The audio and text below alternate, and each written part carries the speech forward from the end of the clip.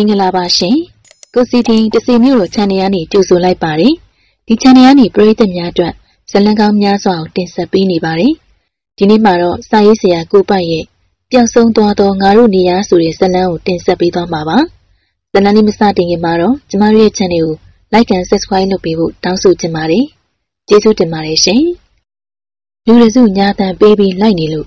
တိုးဝဲတကောင်အိုဟစ်တန်ပေးပြီးတော့တေပြေးရှင်ပြေးပြေးလွှားနေရတယ် တောဝက်ကောင်ရဲ့ပြေးလန့်ညောင်ချက်လေးရှိတယ်။အဲဒီညောင်ချက်ထဲတောဝက်ကောင်ဝင်သွားတာတောဝက်ကောင်ရဲ့အမှားပဲ။ညောင်ချက်အတွင်းမှာတော့လူသား၅ဦးမြရှိတယ်။ဒီလူသားတွေကညောင်ချက်အတွင်းတောဝက်ကောင်မဖြစ်မနေဝင်လာမှောက်သိလို့ကြိုတင်စောင့်ဆိုင်နေကြတာ။တက်ကွင်းကိုဝင်လာတဲ့တောဝက်ကောင်ရဲ့ခန္ဓာကိုယ်အနှံ့မှာခြုံမြရဲ့လှန်တွေစူးဝင်သွားတော့တယ်။သွေးလေးလေးနဲ့ရုံးကန်အော်ဟီရင်ညောင်ရဲ့အခြေမှာတောဝက်ကောင်လဲပြိုသွားတော့တယ်။မကြမီအချိန်လေးမှာ တောဝက်ကောင်အသက်ထွက်သွားတယ်။ဒီတော့မှမြောင်ကမ်းပေါ်မှာရှိတဲ့မုတ်ဆိုးတွေမြောင်တွင်ခုန်ဆင်းလာကြတယ်။သူတို့ကတောဝက်ကောင်တီကိုမြောင်ဘဝပြန်လည်မထုတ်ယူခဲ့တော့တောဝက်ကောင်ချောင်းလန့်ကြသူမုတ်ဆိုးတစုလည်းမြောင်ဘဝရောက်လာကြတယ်။ဒီတော့ဒီလူနှစ်စုပေါင်းမိကြတော့မြောင်ပေါချောင်းပေါ်မှာတောဝက်တီကောင်ချပြီးပက်ပက်လေးဝိုင်းလိုက်ပြီးလှန်တန်လက်နဲ့ဓာလက်နဲ့ကိုစီနဲ့ပင့်ကမကမြောက်ပြီးဝိုင်းကြီးပက်ပက်ကနေကြတော့တယ်။ဒီလိုကရဆိုရမှာ ညာတန်ပြီးအောင်ပွဲခံအိုဟိနေကြခြင်းကြောင့်ပဝင်းကျင်တော်အိုက်စုညံသွားတော့တယ်။ဒီနောက်မုတ်ဆိုးတစုတောဝက်ကောင်ထမ်းပိုးပြီးအဲ့ဒီနေရာထွက်ခဲ့ကြတော့တယ်။သူတို့ကသူတို့နေထိုင်ရာရက်တုတ်ရွာကိုညနေဆောင်မှရောက်ခဲ့ကြတယ်။ဟေးထမ်းရောင်ကွာထမ်းရောင်ရွာတွင်းဝင်လာတဲ့ရွာသူရွာသားတွေကဒီလိုမျိုးမုတ်ဆိုးတွေကိုအိုဟိကြိုးဆိုကြတယ်။ထမ်းရောင်နေရာလေးယောက်ျားလေးနဲ့ရှင်ပေါတန်းနိုင်တာပဲ။ဒီလိုဆိုတော့မုတ်ဆိုးရဲ့ဦးဆောင်မိန်းကလေးက ပြုံးစီစီနဲ့ဖြစ်နေတယ်။အမဲလိုက်မုတ်ဆိုးတွေကြားမှာထန်းရောင်ဆိုတဲ့မိမပြိုလေးကသွေးစွန်းနေတဲ့လှန်တန်းကိုကင်ပြီးရွာထိပ်ပြားမှာရှိတဲ့ခြံဝဲတွင်ဥဆောင်ဝင်လာတယ်။တိုးဝက်ကောင်ကိုအလင်းမှာချပြီးပပတ်လဲဝင်းရံကားလိုက်ကြပြန်တယ်။တန်ကြတော့မှမြေမှာထိုင်လိုက်ကြတယ်။ဒီအချိန်မှာတာရုနိုင်ဘူးကတိုးဝက်ကောင်နာရောက်လာပြီးဆူတောင်းနေတော့တယ်။တန်ကြာရုပ်ဖတ်နေပြီးတဲ့နောက်တိုးဝက်ကောင်တီနာမှာမတ်တက်ရက်နေတဲ့ထန်းရောင်ကောင်းပုံသူ့နဲ့တွင်ကြိုက်ထားတဲ့ လူလက်ပြန်ယူနဲ့မိုးတင်ပြီးနှုတ်ကနေတို့တို့ရုပ်ဖက်ပြန်နေတန်ကြတော့ငါတို့ထမ်းရောင်ကံကောင်းခြင်းတွေအများကြီးရနိုင်ပါစေ။အော်ဟစ်လိုက်တာနဲ့ရောသူရွာသားတွေကလည်းရေကနေတန်ပြိုင်အော်ဟစ်လိုက်ကြတယ်။ထမ်းရောက်တယောက်ပြုံးရွှင်မော်ကြွလိုပါလား။နတ်စရာနိုင်ဘူးကမုတ်ဆိုးတတိုက်ဘက်ကိုမျက်နှာမူပြီးခေါင်းငိတ်ခေါ်တယ်။ဒီတော့မုတ်ဆိုးတွေအတွင်းက၃ယောက်သောလူငယ်တို့ကဝက်တီကောင်ရှိအောင်သွားပြီးခြေတစ်ချောင်းပေါင်ရင်လောက်ကဖြတ်ပြီးတော့ထမ်းရောင်ပေးတယ်။ကောင်းကြီးဩဘာပေးကြပြန်တယ်။ ထမ်းရောင်ကသူ့လက်ခံယူလိုက်တဲ့တုံးဝက်ကောင်ရဲ့ခြေထောက်တစ်ချောင်းကိုထမ်းပိုးပြီးအဲ့ဒီလူအုပ်တွင်ကတိုးထွက်ခဲ့တယ်။သူမကိုသူမကျေနပ်နေတယ်။ရောင်ချက်အတွင်တိုးဝင်လာတဲ့တိုးဝက်ကောင်ကိုသူမစတင်ပြီးတော့ရင်းရင်မုံမုံလှန်နဲ့စထိုးခဲ့တဲ့ဆုလက်ပဲဖြစ်တယ်။ထမ်းရောက်တယောက်သူထမ်းပိုးလာတဲ့တိုးဝက်ချေတစ်ချောင်းကိုအမေဖြစ်သူကိုပေးပြီးနားနေအိတ်တော်တယ်။သူမတန်တင်ပင်ပန်းခဲ့ပြီမို့လား။သူမအိမ်မှာနားနေအိတ်ဆက်နေတဲ့ချိန်ရွာထိတ်ချမ်းကြီးမှာတော့ သူမဖမ်းဆီးတက်ပြက်လာတဲ့တောဝက်ကောင်ကိုချက်ပြုတ်နေကြတယ်။ညနေမှာတော့အဲ့ဒီချက်မှာရွာသူရွာသားတွေခေါင်းရည်တောက်ပြီးတော့စားတောက်ပျော်ရွှင်ပွဲဆင်နွှဲဖို့ပဲထမ်းရောင်ရဲ့အောင်ပွဲလို့ပြောရလိမ့်မယ်။ထမ်းရောင်ကမိခင်မုတ်ဆိုးမကြီးနဲ့ရွာဆက်မှာရှိတဲ့မကြီးတန်းခြံကြီးမှာနေထိုင်နေ။ဖခင်ကအမေးလိုက်မုတ်ဆိုးတယောက်လွတ်တော့ရွာမုတ်ဆိုးကီးဝမ်ဆိုရင်ရွာနီးချုပ်ဆက်မသိသူမရှိဘူး။ဖခင်ဖြစ်သူရှိစေနေရထမ်းရောင်ကအမေးလိုက်ခြင်းပညာကိုတန်အသင်နားလည်တက်ကြွပြီးဖြစ်တယ်။ တိုးကျွမ်းတဲ့မုတ်ဆိုးကီးဝမ်တောဝက်ထိုးရင်တောဝက်ကောင်ရဲ့မန်ဟုံပြင်းပြင်းထိုးနဲ့တိုက်ခိုက်ခြင်းခံရလို့တိတ်ဆုံးသွားခဲ့ရတယ်။အရွယ်ရောက်ပြီးမုတ်ဆိုးပညာတက်တည်ပြီးရဲ့ထမ်းရောင်က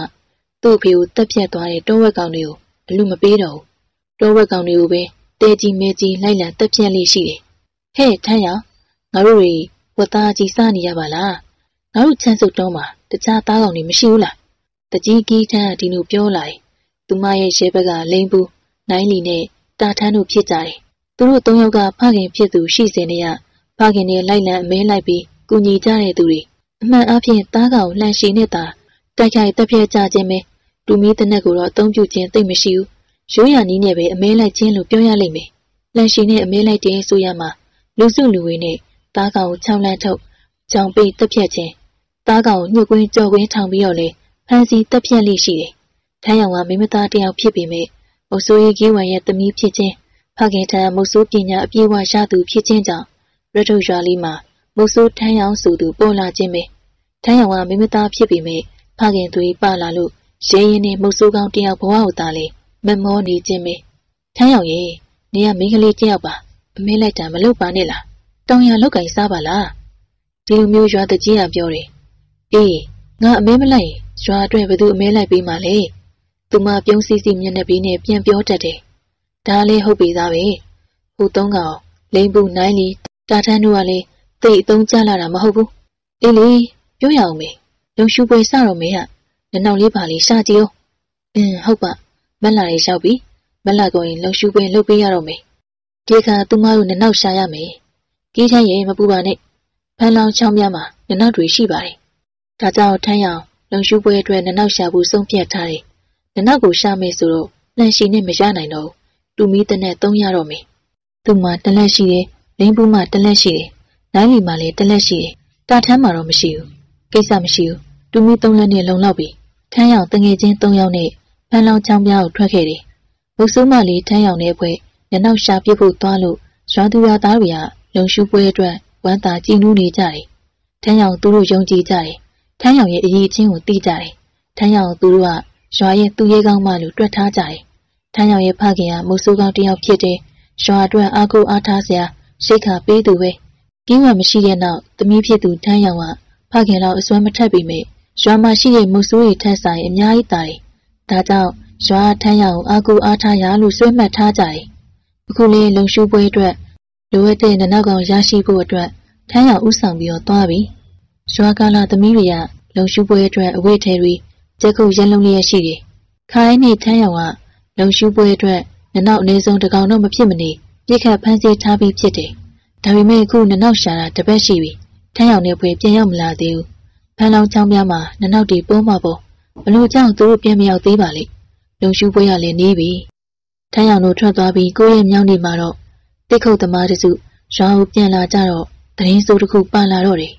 ထန်းကြီးမင်းဘာပြောလိုက်တယ်ပြန်ပြောစမ်း တကြီးကြီးထန်းတိတ်ခုတ်သမားထန်းကြီးပြောတဲ့စကားနားကြများလွဲလာပြန်ပြီးတယ်တကြီးရဲ့ကျုပ်နားနဲ့ဆက်ဆက်ကြားခဲ့တာကျုပ်တို့တိတ်ခုတ်စကမ်းမှာထန်းရောင်တို့တညအိတ်သွားကြတယ်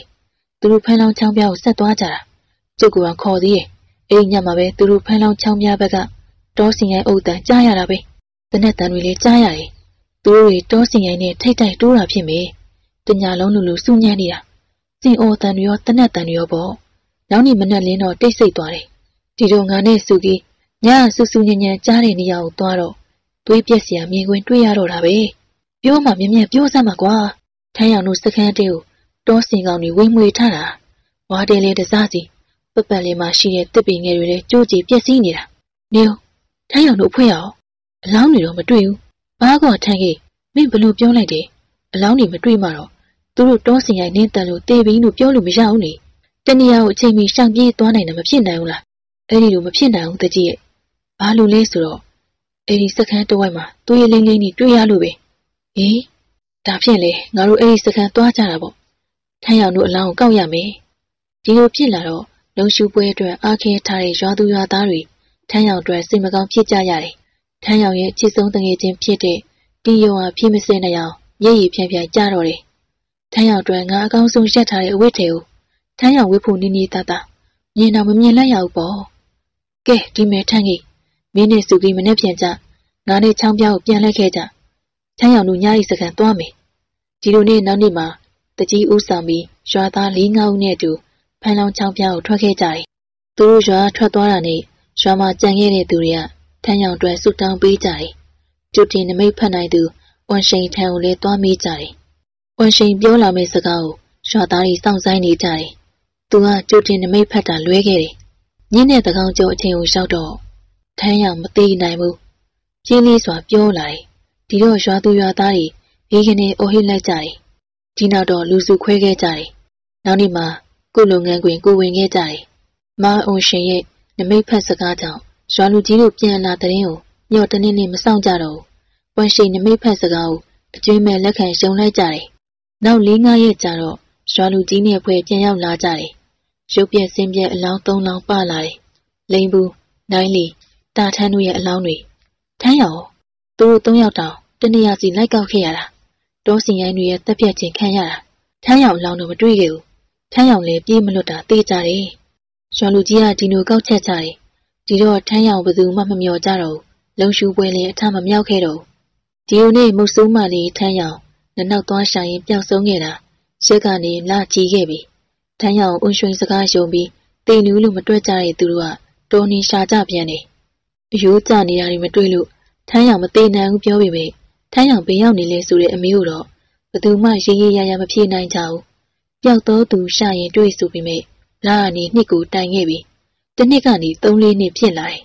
ဒီလိုဆိုတော့မေးတဲ့သူကမေးကြပြီမမေးတဲ့သူတို့ကမနေ့တနေ့ကအပြည့်ပြက်လို့ပြောဆိုကြစေပဲဒီကြားကနေထမ်းရောင်တွေးခဲ့ကြတယ် ဒီလိုမျိုးတောတက်တစ်ခုတ်ဝါခုတ်ပြဖို့သူအချို့ကဆိုလာကြတယ်မင်းတို့နဲ့တိတိဆိုင်ဆိုင်တွေ့တာလားဒီလိုဆိုပြန်တော့လေဟိုလိုလိုဒီလိုလိုဖြေကြပြန်တယ်အဝေးကလှမ်းတွေ့တာလို့ဆိုတဲ့သူကဆိုတယ်ငါ့ဟူတော့လက်ရက်ခေါ်နေသေးတာဒီလိုပြောသူကရှိတယ်ပြောလာသူတွေကြားရပန်းများတော့တကြီးကသူတို့တွေးခဲ့ကြရဲဆိုတဲ့ချမ်ဆုံတောကိုရောက်ခဲ့ရပြန်တယ်တောကျွမ်းသူမုတ်ဆိုးရီနဲ့ရှာကြပြန်တယ်ဒီကောင်တွေပေါက်တက်ကြရပြောကြတာပါကွာဆိုပြီးတော့ရွာကိုပြန်ရောက်လာကြပြန်တယ် မဖြစ်တော့ဒီကိစ္စတကြီးဒီအတိုင်းလှုပ်ထားလို့မရတာကြောင့်ရွာပြန်ရောက်တဲ့နောက်နေ့မှာရွာသူရွာသားတွေကိုသူ့အိမ်ကိုလာဖို့စုဝေးတယ်တကြီးဘာများပြောမလို့လဲကောလာဟာလာသတင်းတွေမလွင့်ကြနဲ့တွေ့လို့တွေ့တယ်မြင်လို့မြင်တယ်ပြောတာပဲတကြီးရဲ့ဒါကောလာဟာလာလွင့်တာဘယ်ဟုတ်ပါမလဲဒါဖြင့်တွေးလိုက်မြင်လိုက်တာနဲ့အမိလိုက်ရအောင်ရအောင်ပြန်ခေါ်ခဲ့လေအဲ့ဒီလိုမှမလုပ်နိုင်တွေးခဲ့ပါရဲ့မြင်ခဲ့ပါရဲ့မပြောကြနဲ့ဟုတ်ပြီလားတကြီးခက်ပြက်ပြက်ပြောတော့မှ ရွာသူရွာသားတွေတူတူပြောဆိုထွက်သွားကြတယ်ညင်ဦးရံမှာရထုံရွာလေးမှာရွာလုံးကျုပ်ထိတ်လန့်ပွေရာဖြစ်ရဖြစ်ပေါ်လာတယ်အဲ့ဒီနေရာတကြီးကထမ်းရောက်နဲ့ပတ်သက်ပြီးကိုလာဟလာဆန်ဆန်စကားတွေမပြောဘူးပိတ်ပင်ပြောဆိုလိုက်လို့ရွာသူရွာသားတွေအသိစိတ်မှာထမ်းရောက်နဲ့ပတ်သက်ပြီးအမှတ်ရကြပြန်တယ်တကြီးစကားလက်ခံသူလက်မခံသူတွေကအချင်းချင်းတူတူပြောဆိုနေကြတယ်တရွာလုံးအိမ်မောကြနေတယ်ညလာပြီးညလေးဖြစ်လို့ရွာလေးလမ်းမပေါ် လာရောက်ဖျားကြနေတယ်ရွာပြားခြံကြီးထဲမှာရှိတဲ့ခွေးတကောင်ဟိုဒီနူးလာသွားလာရင်တောစပတ်လှန့်ကြည့်ပြီးဦးနေတော့တယ်ခွေးဦးတန်ဘသူမှတတိထားမိပုံမပေါ်ဘူးဒီခွေးကောင်သာရတုရွာလေးမှာအိပ်ပျော်ခြင်းမရှိပါလားတောဆက်ကနေနနောက်တကောင်ရွာအတွင်းကိုတုံးဆိုင်ပြေးဝင်လာလို့ခြံအတွင်းကခွေးကောင်ကနနောက်ကောင်ပြေးဝင်လာရလမ်းထိပ်ကနေစီးပြီးတော့ဟောင်းနေတော့တယ်ရွာအတွင်းမဝင်ဖို့ဟန်တားတာဖြစ်မယ်ခွေးကောင်ရဲ့ဟောင်းတန်နဲ့ နနောက်ကောင်ရဲ့ပြေးလွှားတန်ကြောင့်ရတုရွာလေးမှာအိပ်ပျော်နေကြတဲ့လူတွေအိယာနိုးထလာတယ်ရွာရဲ့နနောက်ကောင်ဝင်လာတယ်ဟိတစုံတယောက်ရဲ့အတန်နောက်ွယ်ကနေလူစုလူဝေးတတိုက်ရွာလန်းပေါ်လက်နက်ကူစီနဲ့ထွက်လာကြတယ်။လိုက်ဟမလွတ်စေနဲ့ရွာအတွင်းလမ်းမဝင်လာတဲ့နနောက်ကလူစုလူဝေးလက်ချက်နဲ့တေခွဲဝင်ရတယ်။ဟန်ကြလိုက်တာမနေ့ပြန်ဆိုရင်လုံရှူပွဲစတော့မှာဒီနနောက်ကောင်ကငါတို့အတွက်အသုံးဝင်ပြီ။တကြီးကဒီလိုပြောလာတယ်။ ဒီနနောက်ကောင်ရွာထဲဝင်လာတာထူးဆန်းတယ်။ဒီနနောက်ကောင်ကိုတရားရောက်ကရွာထဲမောင်းသွင်းတာမဖြစ်နိုင်ဘူးလား။ဒါကြောင့်တောဆက်ကိုလှမ်းကဲကြည့်လိုက်ကြတယ်။ဟင်တောဆက်မှာလူတယောက်ပါလားရွာဘက်ကိုလှမ်းကဲကြည့်နေတယ်။ညာကြီးတကောင်ဘသူများပါလိမ့်။လူတယောက်ဆိုတာကိုတက်ပြောနိုင်ပေမဲ့ဘသူပဲဝါဆိုတာကိုတော့ပြောနိုင်ခြင်းမရှိဘူး။ညလုံးအမြင်အားကောင်းသူအချို့ကမိမတယောက်ကနာနာဘဝများလား။ဒါထမ်းရောက်ဖြစ်မယ်။မနဲ့ပြန်ဆိုရင်လုံရှူပွဲစတော့မယ်ဆိုတော့ နနောက်လာပို့တာဖြစ်မယ်။ဖြစ်နိုင်တယ်။ငါတို့မပြောဘူးလား။ထမ်းရောက်မသေးပါဘူးလို့ဒီလိုမျိုးရဲရဲဝံ့ဝံ့ပြောလာကြတယ်။တကြီးကရေးရေးမြင်လိုက်ရတာကြောင့်ရွာသူရွာသားတို့ရဲ့ပြောဆိုတဲ့မဟန်တားတော့တကြီးဘာလို့ရမှန်းမသိတော့ထမ်းရောင်ကိစ္စဘလို့ကြောင့်သုံးနှစ်ကာလတိုင်ခဲ့ပြီးမှဒီလိုဖြစ်လာပါလေနောက်နေ့မှာအောက်ရက်တုတ်ကိုသွားတယ်သူမိတ်ဆွေရောထမ်းနဲ့ထမ်းရောင်ကိစ္စတိုးတိုးတိတ်တိတ်တိုင်မင်းနေထမ်းရောင်ကိစ္စဘလို့လုပ်ရမလဲငါလည်းမပြောတတ်ဘူး ဒီလိုကြီးပဲထမ်းရောင်ကိစ္စကိုထားလို့မဖြစ်ဘူးထမ်းရောင်သေးလားရှင်လားကွဲကွဲပြားပြားသိဖို့လိုတယ်ဒါဖြင့်လေတိုးရေးပြန်သွားပြီးတော့တေချာစုံစမ်းဖို့ဘလို့ဖြစ်နိုင်မှာလဲထမ်းရောင်တို့အခင်းဖြစ်ပြီးရနောက်သွားကြတာပဲပြီးတော့ဟိုတလုံးကသွားသေးတယ်ဘာမှမထူးကြဘူးဒါကြောင့်ပြောတာကိုကိချမ်းရည်တေချာသတိနဲ့ရှာဆိုပါစို့သုံးနှစ်ဆိုတဲ့ကာလမှာအယိုးစုတော့ကြံ့မှာပေါ့တောတောင်ထဲမှာလူရိုးစုတွေ့ရင်ဒါထမ်းရောက်ရိုးစုလို့ပြောရနိုင်ရင်ဖြင့် ထမ်းရောက်အမှန်တကယ်သိပြီးဆိုတာတက်တည်ပြလို့ရပြီပေါ့အေးငါတော့ဘာဆက်လို့ရမယ်မသိပါဘူးကွာတော်တဲ့နှမ်းဆန်ကိုရှာပြီးပြီကွာဒါပေမဲ့မင်းတို့စီမှာတောကျွမ်းတဲ့မုတ်ဆိုးမရှိတော့နေရအနှံ့ရှာမှာမဟုတ်ဘူးအထက်ချိုင်မှာတော့ငါတူတယောက်ရှိတယ်။သူကမုတ်ဆိုးပဲ။ဂျမ်ဆုံတော့သူကျွမ်းတယ်။သူ့စီကိုသွားပြီးအကူကြီးတောင်းရင်ရနိုင်တယ်။ဒီလိုနဲ့ရက်တုရွာတကြီးကိထန်နဲ့အောက်ရက်တုရွာတကြီးရောထန်တို့အထက်ချိုင်ကိုရောက်လာကြတယ်။ ကံအားလျော်စွာထက်ချိုင်မှာအမေးပြေးဖို့ရောက်နေတဲ့ကျွန်တော်နဲ့ကိုလင်းရက်တုရွာသူမုတ်ဆိုးမလေးထမ်းရောင်နဲ့ပတ်သက်ပြီးရွာလူကြီးကိထန်ပြောတာကိုစိတ်ဝင်စားဖွယ်သိနိုင်ရတယ်။အထက်ချိုင်ရမုတ်ဆိုးလေးကိလင်းရကျွန်တော်တို့အမေးပြစ်ချင်မင်းတက်ကိုလာခဲ့ဖို့ပြောထားတာကြောင့်ကျွန်တော်နဲ့ကိုလင်းပကူယိုမအတွင်းမှာအမဲလိုက်နေတာညီးငွေလာလို့ဒေသတဲ့နေရာတဲ့မှာအမဲပြစ်ဖို့စန္ဒရှိရာကြောင့်မင်းတပ်မြို့နယ်အထက်ချိုင်ရွာမှာရှိတဲ့မိတ်ဆွေလေးထံကိုလာခဲ့ခြင်းဖြစ်တယ်။ ခရီးရောက်မဆိုင်ရထုတ်ရွာတကြီးကီးထန်းရဲ့အကူအညီတောင်းခံလာခြင်းကိုကီးလင်းကိုလက်ခံမှုပြောတယ်။ကျွန်တော်တို့ကချမ်းစုံတော့ကိုအမဲပြစ်သွားကြဖို့အစီအစဉ်လေးရှိနေရကြောင်းပဲ။နောက်နေ့မနက်မှာတော့ကျွန်တော်တို့ရွာလူကြီးကီးထန်းနဲ့အတူရထုတ်ရွာကိုလိုက်ပါသွားကြတယ်။ရထုတ်ရွာကနေကျွန်တော်တို့ချမ်းစုံတော့ကိုသွားရမှာမို့လား။ဒါကြောင့်ရထုတ်ရွာမှာတညတာတဲခုကြပြန်နေရထုတ်ရွာလူကြီးကလူလေးသိမရှိအေးဝတ်ပြုတယ်ရထုတ်ရွာခေါင်ရည်က အထက်ချိုင်မှာတောက်ခင်ရတဲ့ခေါင်ရည်ထက်ကောင်းနေရကြောင်းကျွန်တော်တို့ရဲ့ဝီစကီတောင်ကြောပွေးအတွင်းကအပြင်မထွက်နိုင်ဘူးရထုတ်ရွာတကြီးကကျွန်တော်တို့အတွက်အဲ့ဒီညမှာမိဘုံပွဲလုပ်ပေးတယ်ခေါင်ရည်တောက်ရင်ညနောက်သားကြောက်ဖို့စီစမ်းစားရင်ရိုးရာကောက်ရီကြည့်ရတာစိန်ကြလှလုံးနေခေါင်ရည်တောက်ကောင်းကောင်းနဲ့တောက်လိုက်တာလူရထက်ပူပြီးမူးသွားလို့ဘလူကဘလူအိပ်ပျော်သွားမှန်းတော့မသိတော့ဘူးနောက်နေ့မနက်မှာတော့မနက်စာစားပြီးဖန်လောင်ချောင်းထွက်ခဲ့ကြတယ်။ ကျွန်တော်တို့တွေဖန်လောင်ချောင်းပြောင်းသွားကြမှာဆိုတော့ဖန်လောင်ချောင်းတိုင်းသွားကြတာပေါ့။ကျွန်တော်တို့တွေဖန်လောင်ချောင်းကန်တပီရရှောက်ခဲ့ကြတယ်။ဒီလိုရှောက်ခဲ့ရကနေတောင်ရခင်းတွေချောင်းကန်တပီတောဆက်တဝိုက်မှာတွေ့ရတယ်။ဘာရီစိုက်တာလဲဗျ။စပားစိုက်တယ်ပြောင်းစိုက်တယ်စက်နီစိုက်တယ်စက်နီဆိုတာဘာလဲ။စက်နီဆိုတာခေါင်းရည်လုပ်ဖို့ပေါ့။ဒီမှာခေါင်းရည်ကိုစက်နီနဲ့လုပ်ကြတာလေ။မင်းတို့ရဲ့တော်မှာဘာသားကောင်ပေါ်လဲကိလေအကောင်စုံတော့ရှိပေမဲ့စက်နဲ့တမင်ပေါ်နေဆိုရမှာပဲ အေးကွာငါတို့တမင်မပြစ်ဘူးဒီနောက်ကျွန်တော်တို့ဒီဖန်လောင်ချောင်းတိုင်းလျှောက်ခဲ့ရကနေတွေးဖယ်ပြီးတော်တိုးလျှောက်ခဲ့ကြတယ်ချောင်းအောက်ဖက်ပိုင်းကြလူလားမသိဘူးရေဓမာပင်တွေအတော်ပေါ်ပုံရတယ်ညောင်ပင်တွေလည်းပေါ်ပုံရတယ်ဝါတော်တွင်ပြင်းကလေးပင်တွေလည်းတွေ့ရတယ်ကျွန်တော်တို့တော်တိုးလျှောက်ခဲ့ရကနေပြင်းကလေးစုတွေရှိတဲ့နေရာကိုရောက်တော့ခဏနားလိုက်ကြတယ်ကိုလင်းကထုံးစံအတိုင်းဝီစကီပြားလေးထုတ်ပြီးတယ်ကျွန်တော်တို့တောက်နေတဲ့အချိန်ကီးလင်းကတူမီတဲ့နဲ့ပကုံးမှထမ်းပြီးတော့ ကျွန်တော်တို့ပန်းကထွက်သွားတယ်။ဘဲလေဆရာတို့တွေရိတ်ခါရှာမလို့ကိစ္စမရှိပါဘူး။ဒါစောရာရောပြီးသား။ဒါဖြင့်လေဟူနာဒီနာရှောက်ကြည့်တာပေါ့။သားကောင်လေးပါလေးရလို့ရညာ။အဲ့ဒါဆိုရင်သွားပါ။ကျွန်တော်နဲ့ကိုလင်းဝီစကီတောင်းရင်းစကားစမိပြောနေကြတယ်။ခဏနေတော့ပြင်းကလေးပင်ပေါ်မှာရှင့်တကောင်တွေ့လို့ကျွန်တော်ပြစ်ဖို့ချိန်နေ။ဒီအချိန်ရင်းထန်တဲ့ရာပောက်ကွဲတန်ကြောင့်ရှင့်ကောင်ကကျွန်တော်ပြစ်ခွင့်ရနေရုတ်တရက်ပြေးသွားတယ်။ဘယ်ကဘသူပြစ်လိုက်ပါလိမ့်။ ကီလင်းဖြစ်မယ်ထင်တယ်။တနက်တန်ကြားပြီးရဲ့နောက်တော်ကြာတဲ့တိုင်ကီလင်းပြန်ရောက်လာခြင်းမရှိဘူး။ကျွန်တော်ပလင်းပြားအတွင်းမှာရှိတဲ့ဝီစကီလက်ကြံမော့တောက်ပြီးပလင်းလွတ်ကိုအဝေးကိုလှုပ်ပစ်လိုက်တယ်။ကျွန်တော်လှုပ်ပစ်လိုက်တဲ့ဝီစကီပလင်းပြားကျွန်တော်ထံကိုပြန်ရောက်လာတယ်။ကျွန်တော်ရှေ့တလန်လောက်ကျလာတယ်။မြေပြင်ပေါ်မှာရှိတဲ့ကြောက်တုံးနဲ့ပလင်းထိခဲ့ပြီးပလင်းကကွဲသွားတယ်။ဘသူပြန်ပစ်တာပါလဲ။ပလင်းရောက်တဲ့နေရာကိုလှမ်းကြည့်တော့ကျွန်တော်တွေမဟုတ်ကိုလင်းလင်းမြင်လိုက်တယ်ဟေးမပြေးနဲ့ နှစ်ယောက်ပြိုင်တူအော်ပြီးတားပေမဲ့ဒီလူကတောင်ကျောပေါ်ကိုပြေးတက်သွားတော့တယ်လက်ထဲမှာတော့လှန်ရှည်တစ်ချောင်းကင်ထားတယ်မဟုတ်ဆိုးတယောက်များလားဘာလို့ပလင်းနဲ့ပြန်ပြီးတော့ပြစ်ပြေးသွားပါလဲဒီလူကစိတ်တူတတ်တယ်ထင်တယ်ကိုပိုက်ကအမတ်တမဲ့ပြစ်လိုက်တာအဲ့ဒီလူနာရောက်သွားတယ်ဒါမှမဟုတ်အဲ့ဒီလူမှန်သွားပြီးတော့စိတ်ဆိုးပြီးပလင်းပြားနဲ့ပြန်ပြစ်ပြေးသွားတာနေမှာဒါဖြင့်လေဗျာဘာလို့ထွက်ပြေးနေသေးလဲကျွန်တော်တို့မျက်နှာချင်းဆိုင်ရန်တွေ့ရှင်းပေါ့ဒါတော့ကိုပိုက်ရဲ့သူလည်းသူ့ကိစ္စနဲ့သူဖြစ်မှာပေါ့ ကျွန်တော်တို့များချောင်းမြောင်းနေတာလားမဖြစ်နိုင်ပါဘူးဗျာကျွန်တော်တို့မြောက်ကလူစိမ်းတွေမို့လို့တွေးစုံမခံပြေးသွားတာဖြစ်မှာပါဒီအချိန်အဲ့ဒီသူပြေးသွားတဲ့ဘက်ကနေကင်းလင်းပြန်ရောက်လာတယ်သူ့စီမှာဘာသားကောင်မှပါမလာဘူးအဲ့ဒါကြောင့်စောစောကတနက်တန်ကြားတယ်မောင်ရင်ပြစ်တာမဟုတ်ဘူးလားဘာကောင်လဲလွဲချော်သွားတာလားမဟုတ်ပါဘူးပြစ်လိုက်တာတော့ကျွန်တော်ပါဗျဒါပေမဲ့၆လန့်ပြစ်လိုက်တာဘာကောင်တွေးလို့လဲချိုင်းမိန်မို့လို့လားကျွန်တော်ကချင်းလိုမျိုး ကြားကောင်လားလို့မေးတော့ကင်းလျာခေါင်းရမ်းပြီးချိုင်းမိန်ဆိုရင်လည်းကျွန်တော်မကြောက်ပါဘူးတဲ့တယ်ပဲပြစ်မှာခုဟာလူဖြစ်နေလို့ကင်းလင်းပြောပုံရကျွန်တော်တို့ထံပြင်းလွှားသွားတဲ့သူနဲ့သူအစိုးပိုင်းကစုံပြီးပြစ်လိုက်တာဖြစ်မယ်မင်းကလူကိုမြင်တာနဲ့တနက်နဲ့၆ပြစ်ရတယ်လို့တောတောင်နဲ့လူကိုမြင်တာဘာဆန်းလို့လဲတိတ်ခုဝါခုံပြားဖို့ဒါမှမဟုတ်မိုးဆိုးပဲဖြစ်မှာပေါ့ဒါတွေမဖြစ်နိုင်မှသိလို့တနက်နဲ့၆ပြစ်လိုက်ရတာရှင်းအောင်ပြောပါဦးဥစ္စာစောင်းမှလားမသိဘူးဟင်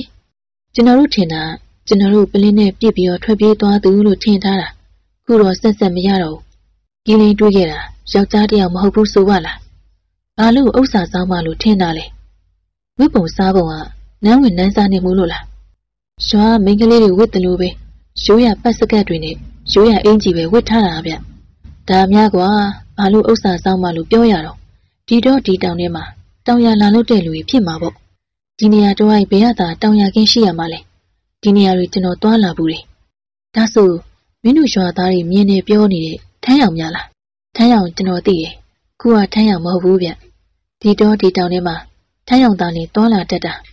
တခြားမိန်းကလေးတွေဆိုရင်ဒီတော့ဒီတောင်မပြောနဲ့တောင်ရတွေနဲ့မနီးမဝေးတောတောင်နဲ့သွားလာဝင်တာမဟုတ်ဘူးအေးလေထားပါတော့အစောကငါတို့နားပြေးသွားရင်လူနဲ့အဲ့ဒီမိန်းကလေးပတ်သက်နိုင်တယ်အဲ့ဒါတော့မပြောတတ်ဘူးမင်းကွာ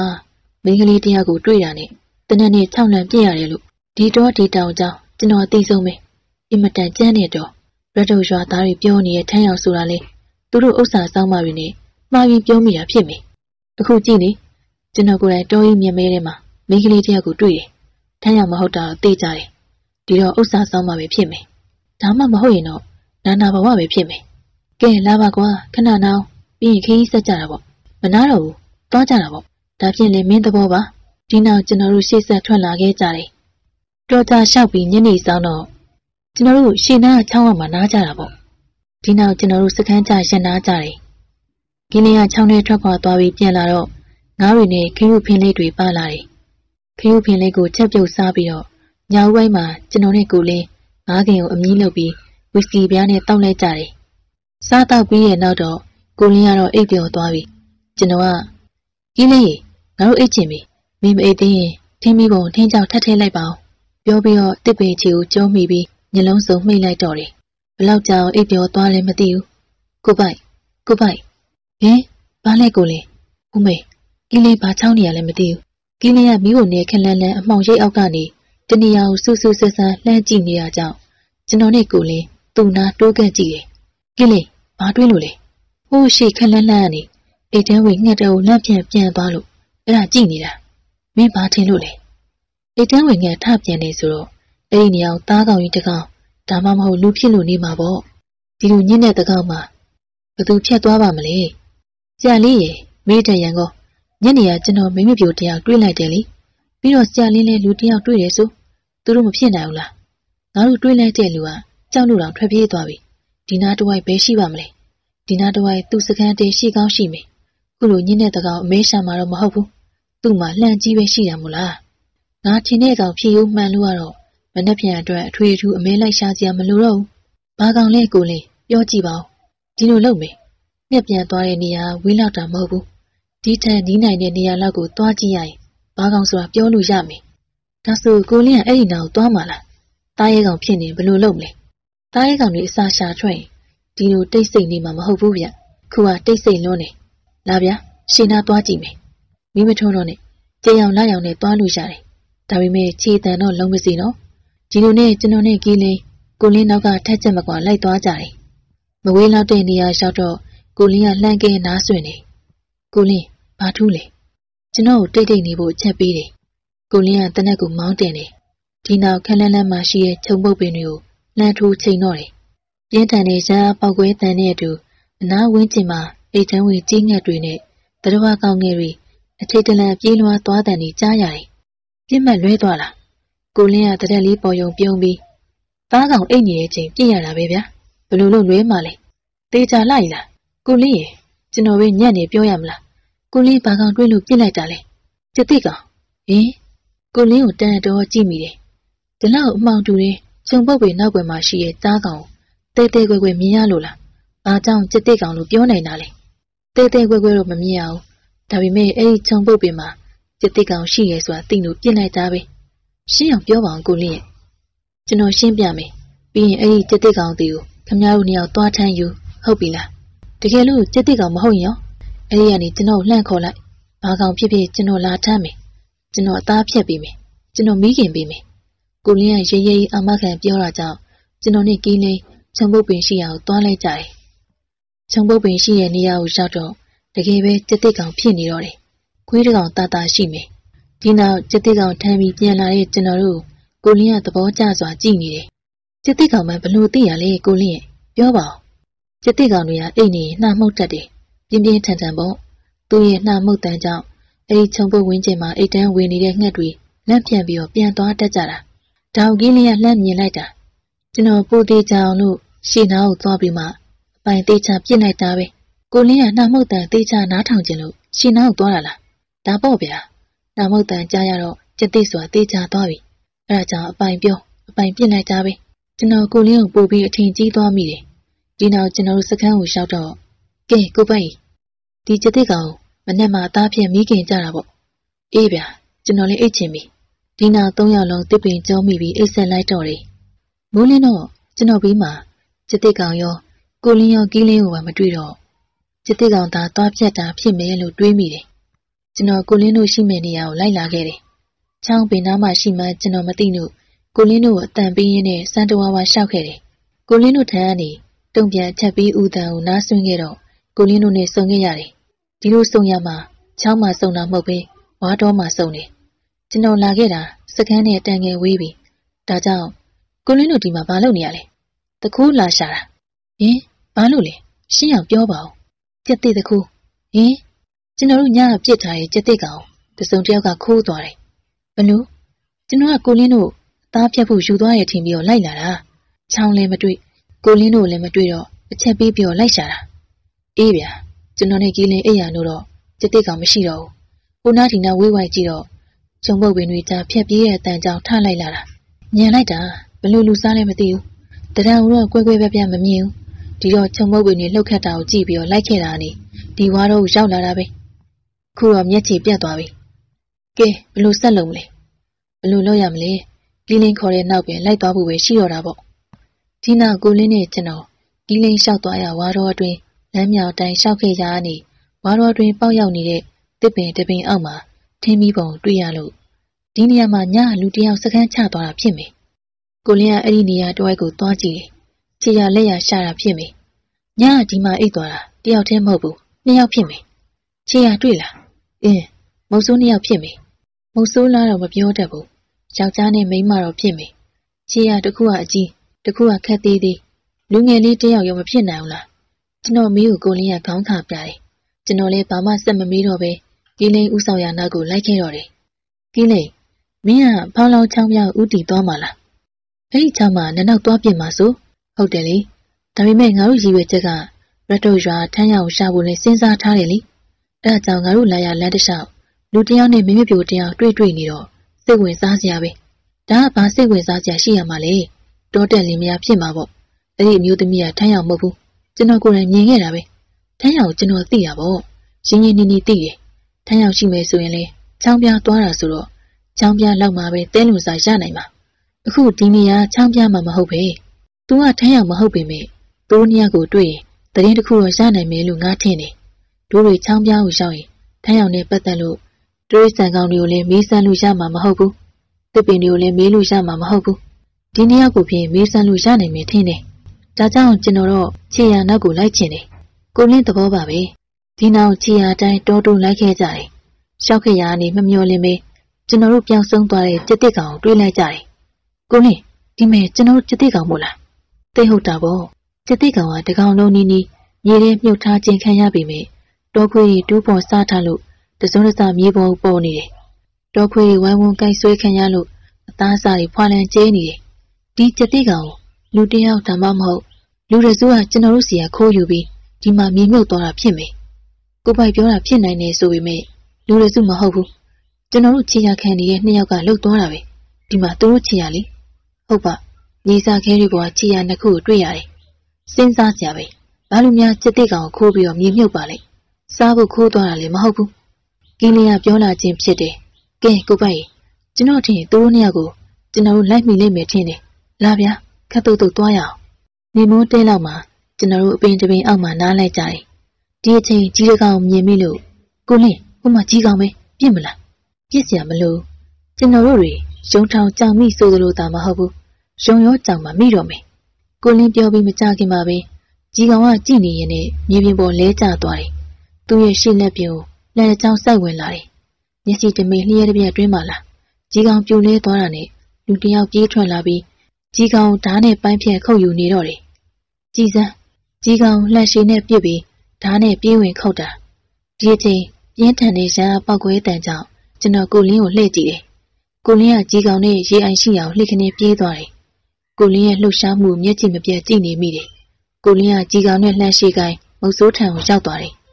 လှမ်းရှိကိုင်းလူကကိုလင်းကိုတန်တော်မူရနဲ့တာမဟုတ်ကြောက်ရွံ့တုန်လှုပ်စွာနဲ့ကြည့်နေတယ်ကျွန်တော်တို့ကိုလင်းနောက်သွားလိုက်ကြတယ်ဒါပါသဘောလေမေးလာတယ်လို့သူ့ကိုတနက်နေ့ချိန်ထားတဲ့ကိုလင်းကိုမကြင်မနှက်ကြည့်နေတယ်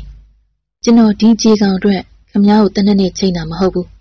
จิตတိကောင်ကိစ္စနဲ့ပတ်သက်လို့ဒီလိုဆက်ဆံရတာဒီလိုပြောတော့အဲ့ဒီလူမျက်နှာပြက်သွားတယ် ဒီနောက်မျက်နှာကိုကြပြားကြရပြင်ရင်ကျုပ်မရှင်းဘူးရှင်းအောင်ပြောမယ်ကျွန်တော်တို့ညအမီရဲ့จิตတိကောင်ကိုခမ ्या တို့ခိုးယူပြီးဟိုနောက်ဖက်နားမှာမြေမြုပ်ခဲ့တယ်ဒါပါသဘောလေရှင်းအောင်ပြောပါကိုလင်းကတန်မမာနဲ့ပြောတယ်ကျုပ်တို့จิตတိကောင်ကိုလာယူသွားတာသိနေတာ哦ထားပါလေရှင်းအောင်ပြောဆိုရလေပြောရတာပေါ့အဲ့ဒီจิตတိကောင်ကအတိုင်းကောင်မဟုတ်ဘူးကျုံနှမထမ်းရောက်ရဲ့จิตတိကောင်ခမ ्या တို့ပြစ်တက်ခဲ့တာပဲဟင်ဘလို့နမည်တူနေရများလား ကိလျာအံဝစွာပြောလာတယ်။ခမည်းတော်လူသားအပြည့်ရှိတာဗျ။ကျုံနှမထမ်းရောင်ကခမည်းတော်သူ့ရဲ့ကျက်တိကောင်အတွက်အလူပေးလိုက်မှာမဟုတ်ဘူး။ကျုံနှမထမ်းရောင်ကကျက်တိကောင်တိတ်ခွင်းတွေ့တာ။သူ့ရဲ့သားသမီးတို့သဘောထားတာ။နေပါဦး။ခမည်းညီမထမ်းရောင်ဆိုတာခမည်းနဲ့အတူတူပါလာတဲ့အမျိုးသမီးကိုပြောတာလား။ဒီတော့အဲ့ဒီလူကခေါင်းရမ်းပြီးထမ်းရောင်ဆိုတာသူမဟုတ်ဘူး။ဒါဖြင့်ခမည်းနဲ့အတူတူသွားနေတဲ့အမျိုးသမီးကဘသူလဲ။သူကထမ်းရောင်ရဲ့တပည့် ကျစ်တိကောင်ကသူမနဲ့အတူတူသွားလာတာသူမနဲ့ကျစ်တိကောင်အဖော်ကွဲသွားလို့ကျုံနဲ့အတူလိုက်ရှာရင်ခမရတို့နာမှာပြစ်သက်ခံရတဲ့ကျစ်တိကောင်ကိုတွေ့တာပဲဒါကြောင့်သူ့အသားကိုဖျက်ပြီးစားမှဆိုလို့ခုလိုလာခိုးပြီးတော့မေမြုပ်ပေးတာအေးဗျာဒီအတွက်စိတ်မကောင်းပါဘူးကျွန်တော်တို့ကလည်းတောတောင်ထဲမှာဆိုတော့အဆိုင်ကောင်ပဲထင်ပြီးတော့ပြစ်မိတာဒီအတွက်တောင်းပန်ပါတယ်ခမရနှမထမ်းရအောင်လေကျွန်တော်တို့လိုက်ပြီးတော့တောင်းပန်ပါမယ်ခမရနှမရှိရဲ့စီကိုခေါ်သွားပေးပါသူမကျေနပ်တောင်းပန်ခြင်းလို့ပါ ဘလို့ဖြစ်နိုင်ပါလဲကျုံနှမအင်မတန်စိတ်ကြီးတာခမည်းတို့တောင်းပန်တာကိုဘလို့မှလက်ခံခွင့်လို့မှမဟုတ်ဘူးခမည်းတို့သူ့ရဲ့စက်တိကောင်ကိုတတ်သွားမှန်းသိရင်လွယ်မယ်မထင်ဘူးစက်တိကောင်အတွက်ကျွန်တော်တို့တက်ဖြစ်မှာတော့မဟုတ်ပါဘူးဟုတ်တယ်မို့လားတခြားဘာပြစ်ဒဏ်ပဲပေးပေးအသာတကြီးလက်ခံပါမယ်ကျွန်တော်တို့သာခမည်းနှမစီကိုခေါ်သွားပေးပါမဖြစ်ဘူးမခေါ်သွားနိုင်ဘူးကျုံနှမကြည်နဲ့အောင်ကျုံနာချပြောလို့ရတယ်ကဲပါခမည်းတို့သွားကြပါ ကြီးကောင်ကကျုံနှမကိုစိတ်ပြေစီမယ်ထင်တယ်ကျုံနှမကြည်သားဆိုရင်အတော်ကြိုက်တယ်ပြောပြီးတော့ကြီးကောင်ကိုထမ်းပြီးတော့ထွက်သွားတယ်နေဒီအတိုင်းထမ်းရောက်စီသွားလို့ဘယ်ဖြစ်မလဲငါအတွက်လည်းပြန်ကြည့်အောင်လေသူ့ရဲ့ကြက်တိကောင်တတ်တဲ့ကိစ္စကိုငါဘယ်လိုရှင်းရမလဲအခုတရားခံတွေ့ပြီပဲခေါ်သွားရမှာပေါ့အတန်နဲ့အတူအမျိုးသမီးတယောက်ကတစ်ပင်ခွဲရထွက်လာရင်ပြောလို့ကျွန်တော်တို့ဝမ်းမြောက်ဝမ်းသာဖြစ်မိတယ်။သူမသဘောကကျွန်တော်တို့ထမ်းရောက်စီခေါ်သွားလို့တဲ့သဘော။ဒါဆိုရင်ကျွန်တော်တို့ထမ်းရောက်နေစုံရမယ်။ လက်တလောကျွန်တော်တို့သိလို့တာသူတို့ပြောတဲ့ထမ်းရောက်ကရက်တုတ်ရွာသူထမ်းရောက်ဟုတ်မဟုတ်ပဲ။တကယ်၍ရက်တုတ်ရွာသူထမ်းရောက်ဆိုရင်တော့သူ့ကိုပြန်ခေါ်သွားရလိမ့်မယ်။ဒီနောက်ကျွန်တော်တို့သူတို့နှစ်ယောက်နောက်ကိုလိုက်လာခဲ့ကြတယ်။ကြီးလေသူတို့သွားရင်လမ်းကိုသိလား။ကျွန်တော်ဘယ်ရောက်လို့ရှာမှမသိဘူး။ဒီနေရာကျွန်တော်ဘယ်တော့မှမရှာဘူးတာသိကြတယ်။အလိုလေးဗျာ။ကိစ္စမရှိပါဘူး။ကျွန်တော်တို့ထမ်းရောက်လို့နေထိုင်ရနေရာကိုရောက်ဖို့ပဲအဓိကမို့လား။လာဗျာကိုလင်း ရှေ့ရနှစ်ယောက်ကကျွန်တော်တို့ဖမ်းခေါ်လာတာဆိုတယ်။လဲ့တော့မကြည့်ပါလား။အောက်ပေါင်းရှုပ်တဲ့တောကိုကြော်ပြီးတပင်နိုင်ဝါတော့ကိုရောက်တော့ရှေ့ရနှစ်ယောက်ရဲ့အရေးအယံမတွေ့တော့ဘူး။ကိုလင်းရဘယ်လိုလုပ်မလဲ။သူတို့ဘယ်ရောက်သွားလဲမသိဘူး။ကျွန်တော်တို့သူတို့ရဲ့တပတ်လှည့်တာခံလိုက်ရတာပဲ။ဘလို့ကြောက်လဲ။သူတို့ကအင်မတန်လဲတယ်။စောစောကကျွန်တော်တို့နဲ့တွေ့တော့အယုံသွင်းပြီးကျွန်တော်တို့ခေါ်လာတဲ့ပုံနဲ့လာကြတာ။အောက်ပေါင်းရှုပ်တဲ့နေရာလေးရောက်ရောကျွန်တော်တို့မျက်ခြေပြန်ထွက်ပြေးသွားတာဗျ။ကျွန်တော်တို့ သူတို့နေတဲ့နေရာမသိစေချင်တာသိကြတယ်။သူတို့မှလျှို့ဝှက်စရာအကြောင်းရှိရာသိကြပြီ။ဒီတော့ကျွန်တော်တို့သူတို့နေရာကိုမတွေ့တွေ့အောင်ရှာကြမယ်။ဟုတ်တယ်ကိုလေ။ကျွန်တော်တို့သူတို့ကိုစိတ်ဝင်စားတယ်။ရက်ထုတ်ရွာသူထမ်းရောက်နဲ့သူတို့ပတ်သက်မှုရှိကိုရှိရမယ်။ပြီးတော့သူတို့ပြောတဲ့ထမ်းရောက်ဆိုတာဘယ်သူလဲသိနိုင်နေဗျ။ဒီနောက်ကျွန်တော်တို့အဲ့ဒီနေရာမှာနားပြီးဝီစကီတောက်ပြီးတဲ့နောက်ဝါတော်အတိုင်းဖျက်လျှောက်ခဲ့ကြတယ်။ကိုလင်းကျွန်တော်တို့ဒီဝါတော်ကိုမသိငါဘူး။ဘာလို့လဲ။ ဒီဝါတော်တွေရောက်မထွက်နိုင်တာအံ့ဩစရာပဲ။ဟုတ်တယ်ကိုပိုက်။ကျွန်တော်တို့ဝါခွင်ကပါတော်တွေရောက်နေတာဖြစ်မယ်။ဒီအတိုင်းဆိုရင်တော့ကျွန်တော်တို့ဝါတော်တွေမှာညအိပ်ရမယ်ထင်တယ်။ဒီလိုလုပ်မယ်ဗျာ။သွားလာရင်ဝါကိုဓာတ်နဲ့ခုတ်ပြီးအမှတ်သားလုပ်ခဲ့မယ်။ဒီနောက်ကျွန်တော်တို့အမှတ်သားလုပ်လိုက်ကြတယ်။တော်လေးစင်ပြေတယ်လို့ပြောရမယ်မောင်လူလူမှာဝါတော့ဆက်ကိုရောက်ကြတယ်ကျွန်းတော်ကြီးပါလားကိုပိုက်အဲ့ဒီကျွန်းတော်လေးဝင်ပို့ပြီးတော့တတိထားရမယ်ဘာလို့လဲကိုလင်း ဒီဝါတော်လေးမှာတော့ကျွန်တော်တို့လဲနေတာကျွန်းတော်ဆိုရင်ပို့ဆိုးပြီ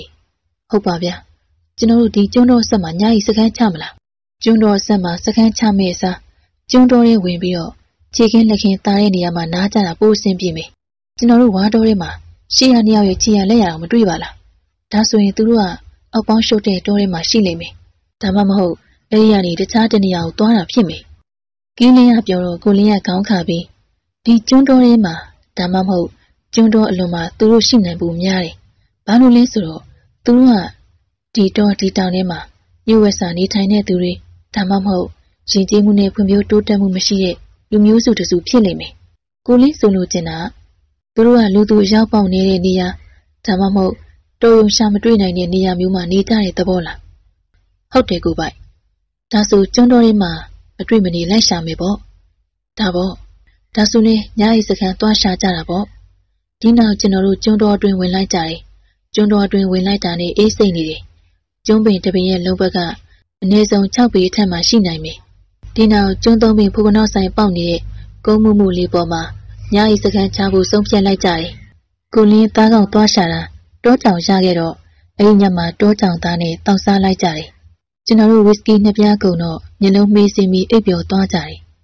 ပြင်းထန်တဲ့ရပေါက်ကွဲတန်ကြောင့်အိပ်ပျော်နေရနိုးလာတယ်ကျွန်တော်တွေမဟုတ်ကိုလင်းနဲ့နိုးလာတယ်ဘာဖြစ်တာလဲကီးနေညာကြီးအချိန်မတော်ကိုလင်းကမေးတော့ကီးလေးဘာပြောမလဲကျွန်တော်နားဆွင့်မိတယ်စူးစူးညံ့ညံ့လူတန်တွေကြားလို့ချောင်းလန့်ပြစ်လိုက်တာသူတောချောက်ခံရလို့ကြောက်စိတ်ဖြေးတဲ့အနေနဲ့ပြစ်တာဖြစ်မယ်ညနဲ့တကောင်လူစုလူဝေးတန်ကြားရတော့တောချောက်ခြင်းပဲဖြစ်နိုင်တယ်ဒီနောက်ကျွန်တော်အိတ်ချင်စိတ်ရှိသေးလို့သူပင်ကိုကြောမိပြီးညလုံးစုံမိတ်လိုက်တယ် လူတန်သူတန်စူးစူးညံ့ညံ့တွေကြားရပြန်တယ်ဒီလေရဒီကောင်တွေနှောက်ရှက်ပြန်ပြီလက်တွင်းရတနက်နဲ့ပြစ်မယ်ပြင်တော့ကင်းနေမပြစ်နဲ့ဒီကောင်တွေအဆက်မပြတ်ဒုက္ခပေးနေတာမဟုတ်သေးဘူးထင်တယ်ဒီအတန်တွေကဒီနားတဝိုက်ကလာတာမဟုတ်ဘူးတေချာနားထောင်လေအစ်စ်မှာပါလာတဲ့တန်းကွာကိုပိုက်ပြောတာတေးကြတယ်ကိုလင်းရပါမျက်လုံးမိရနဲ့ပြောလာတယ်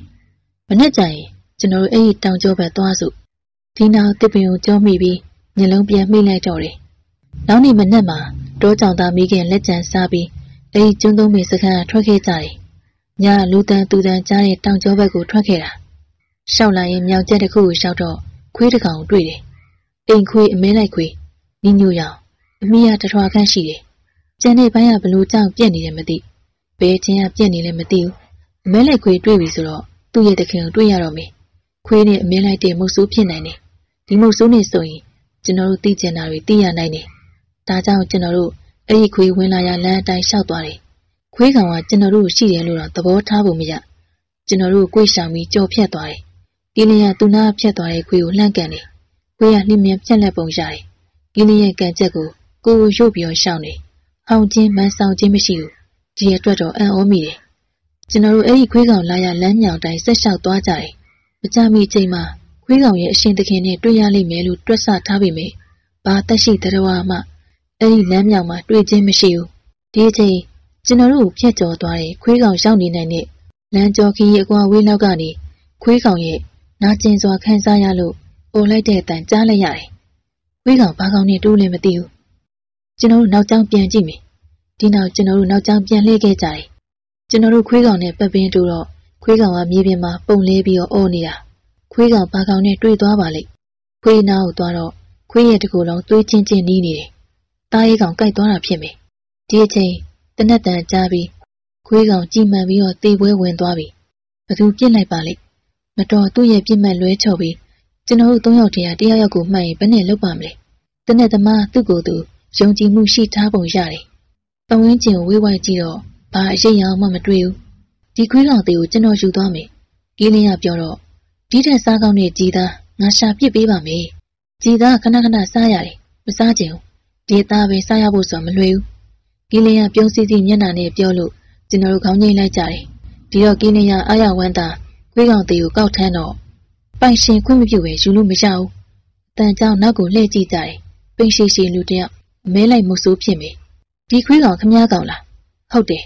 ဒါဖြင့်ကိုခွေးကိုဘာလို့ပြစ်တက်ရတာလဲဘာလို့ဒီလိုပြောနိုင်တာလဲ ခမရတနက်ပြောင်းဝနေမိခိုးငွေတွေတွေ့နေရတယ်ဒီလူကကိုလင်းကိုကြည့်ပြီးမုတ်ဆိုးကောင်းတယောက်ပါလားကျွန်တော်မေးတာဖြေပါအောင်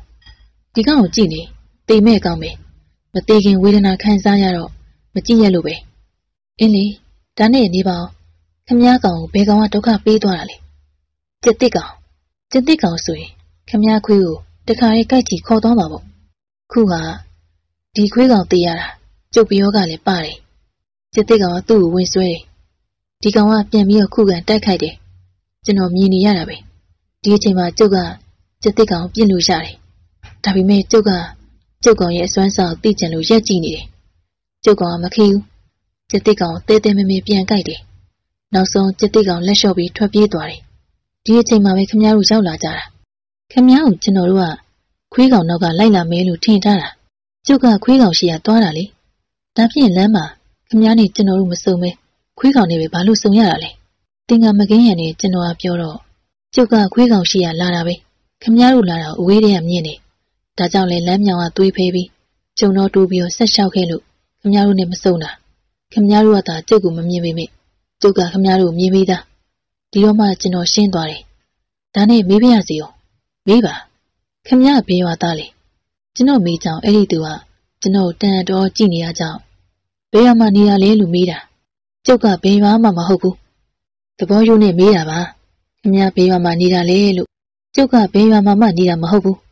ဒါဖြင့်ခမည်းကျုံရနေရမှာနေတာလား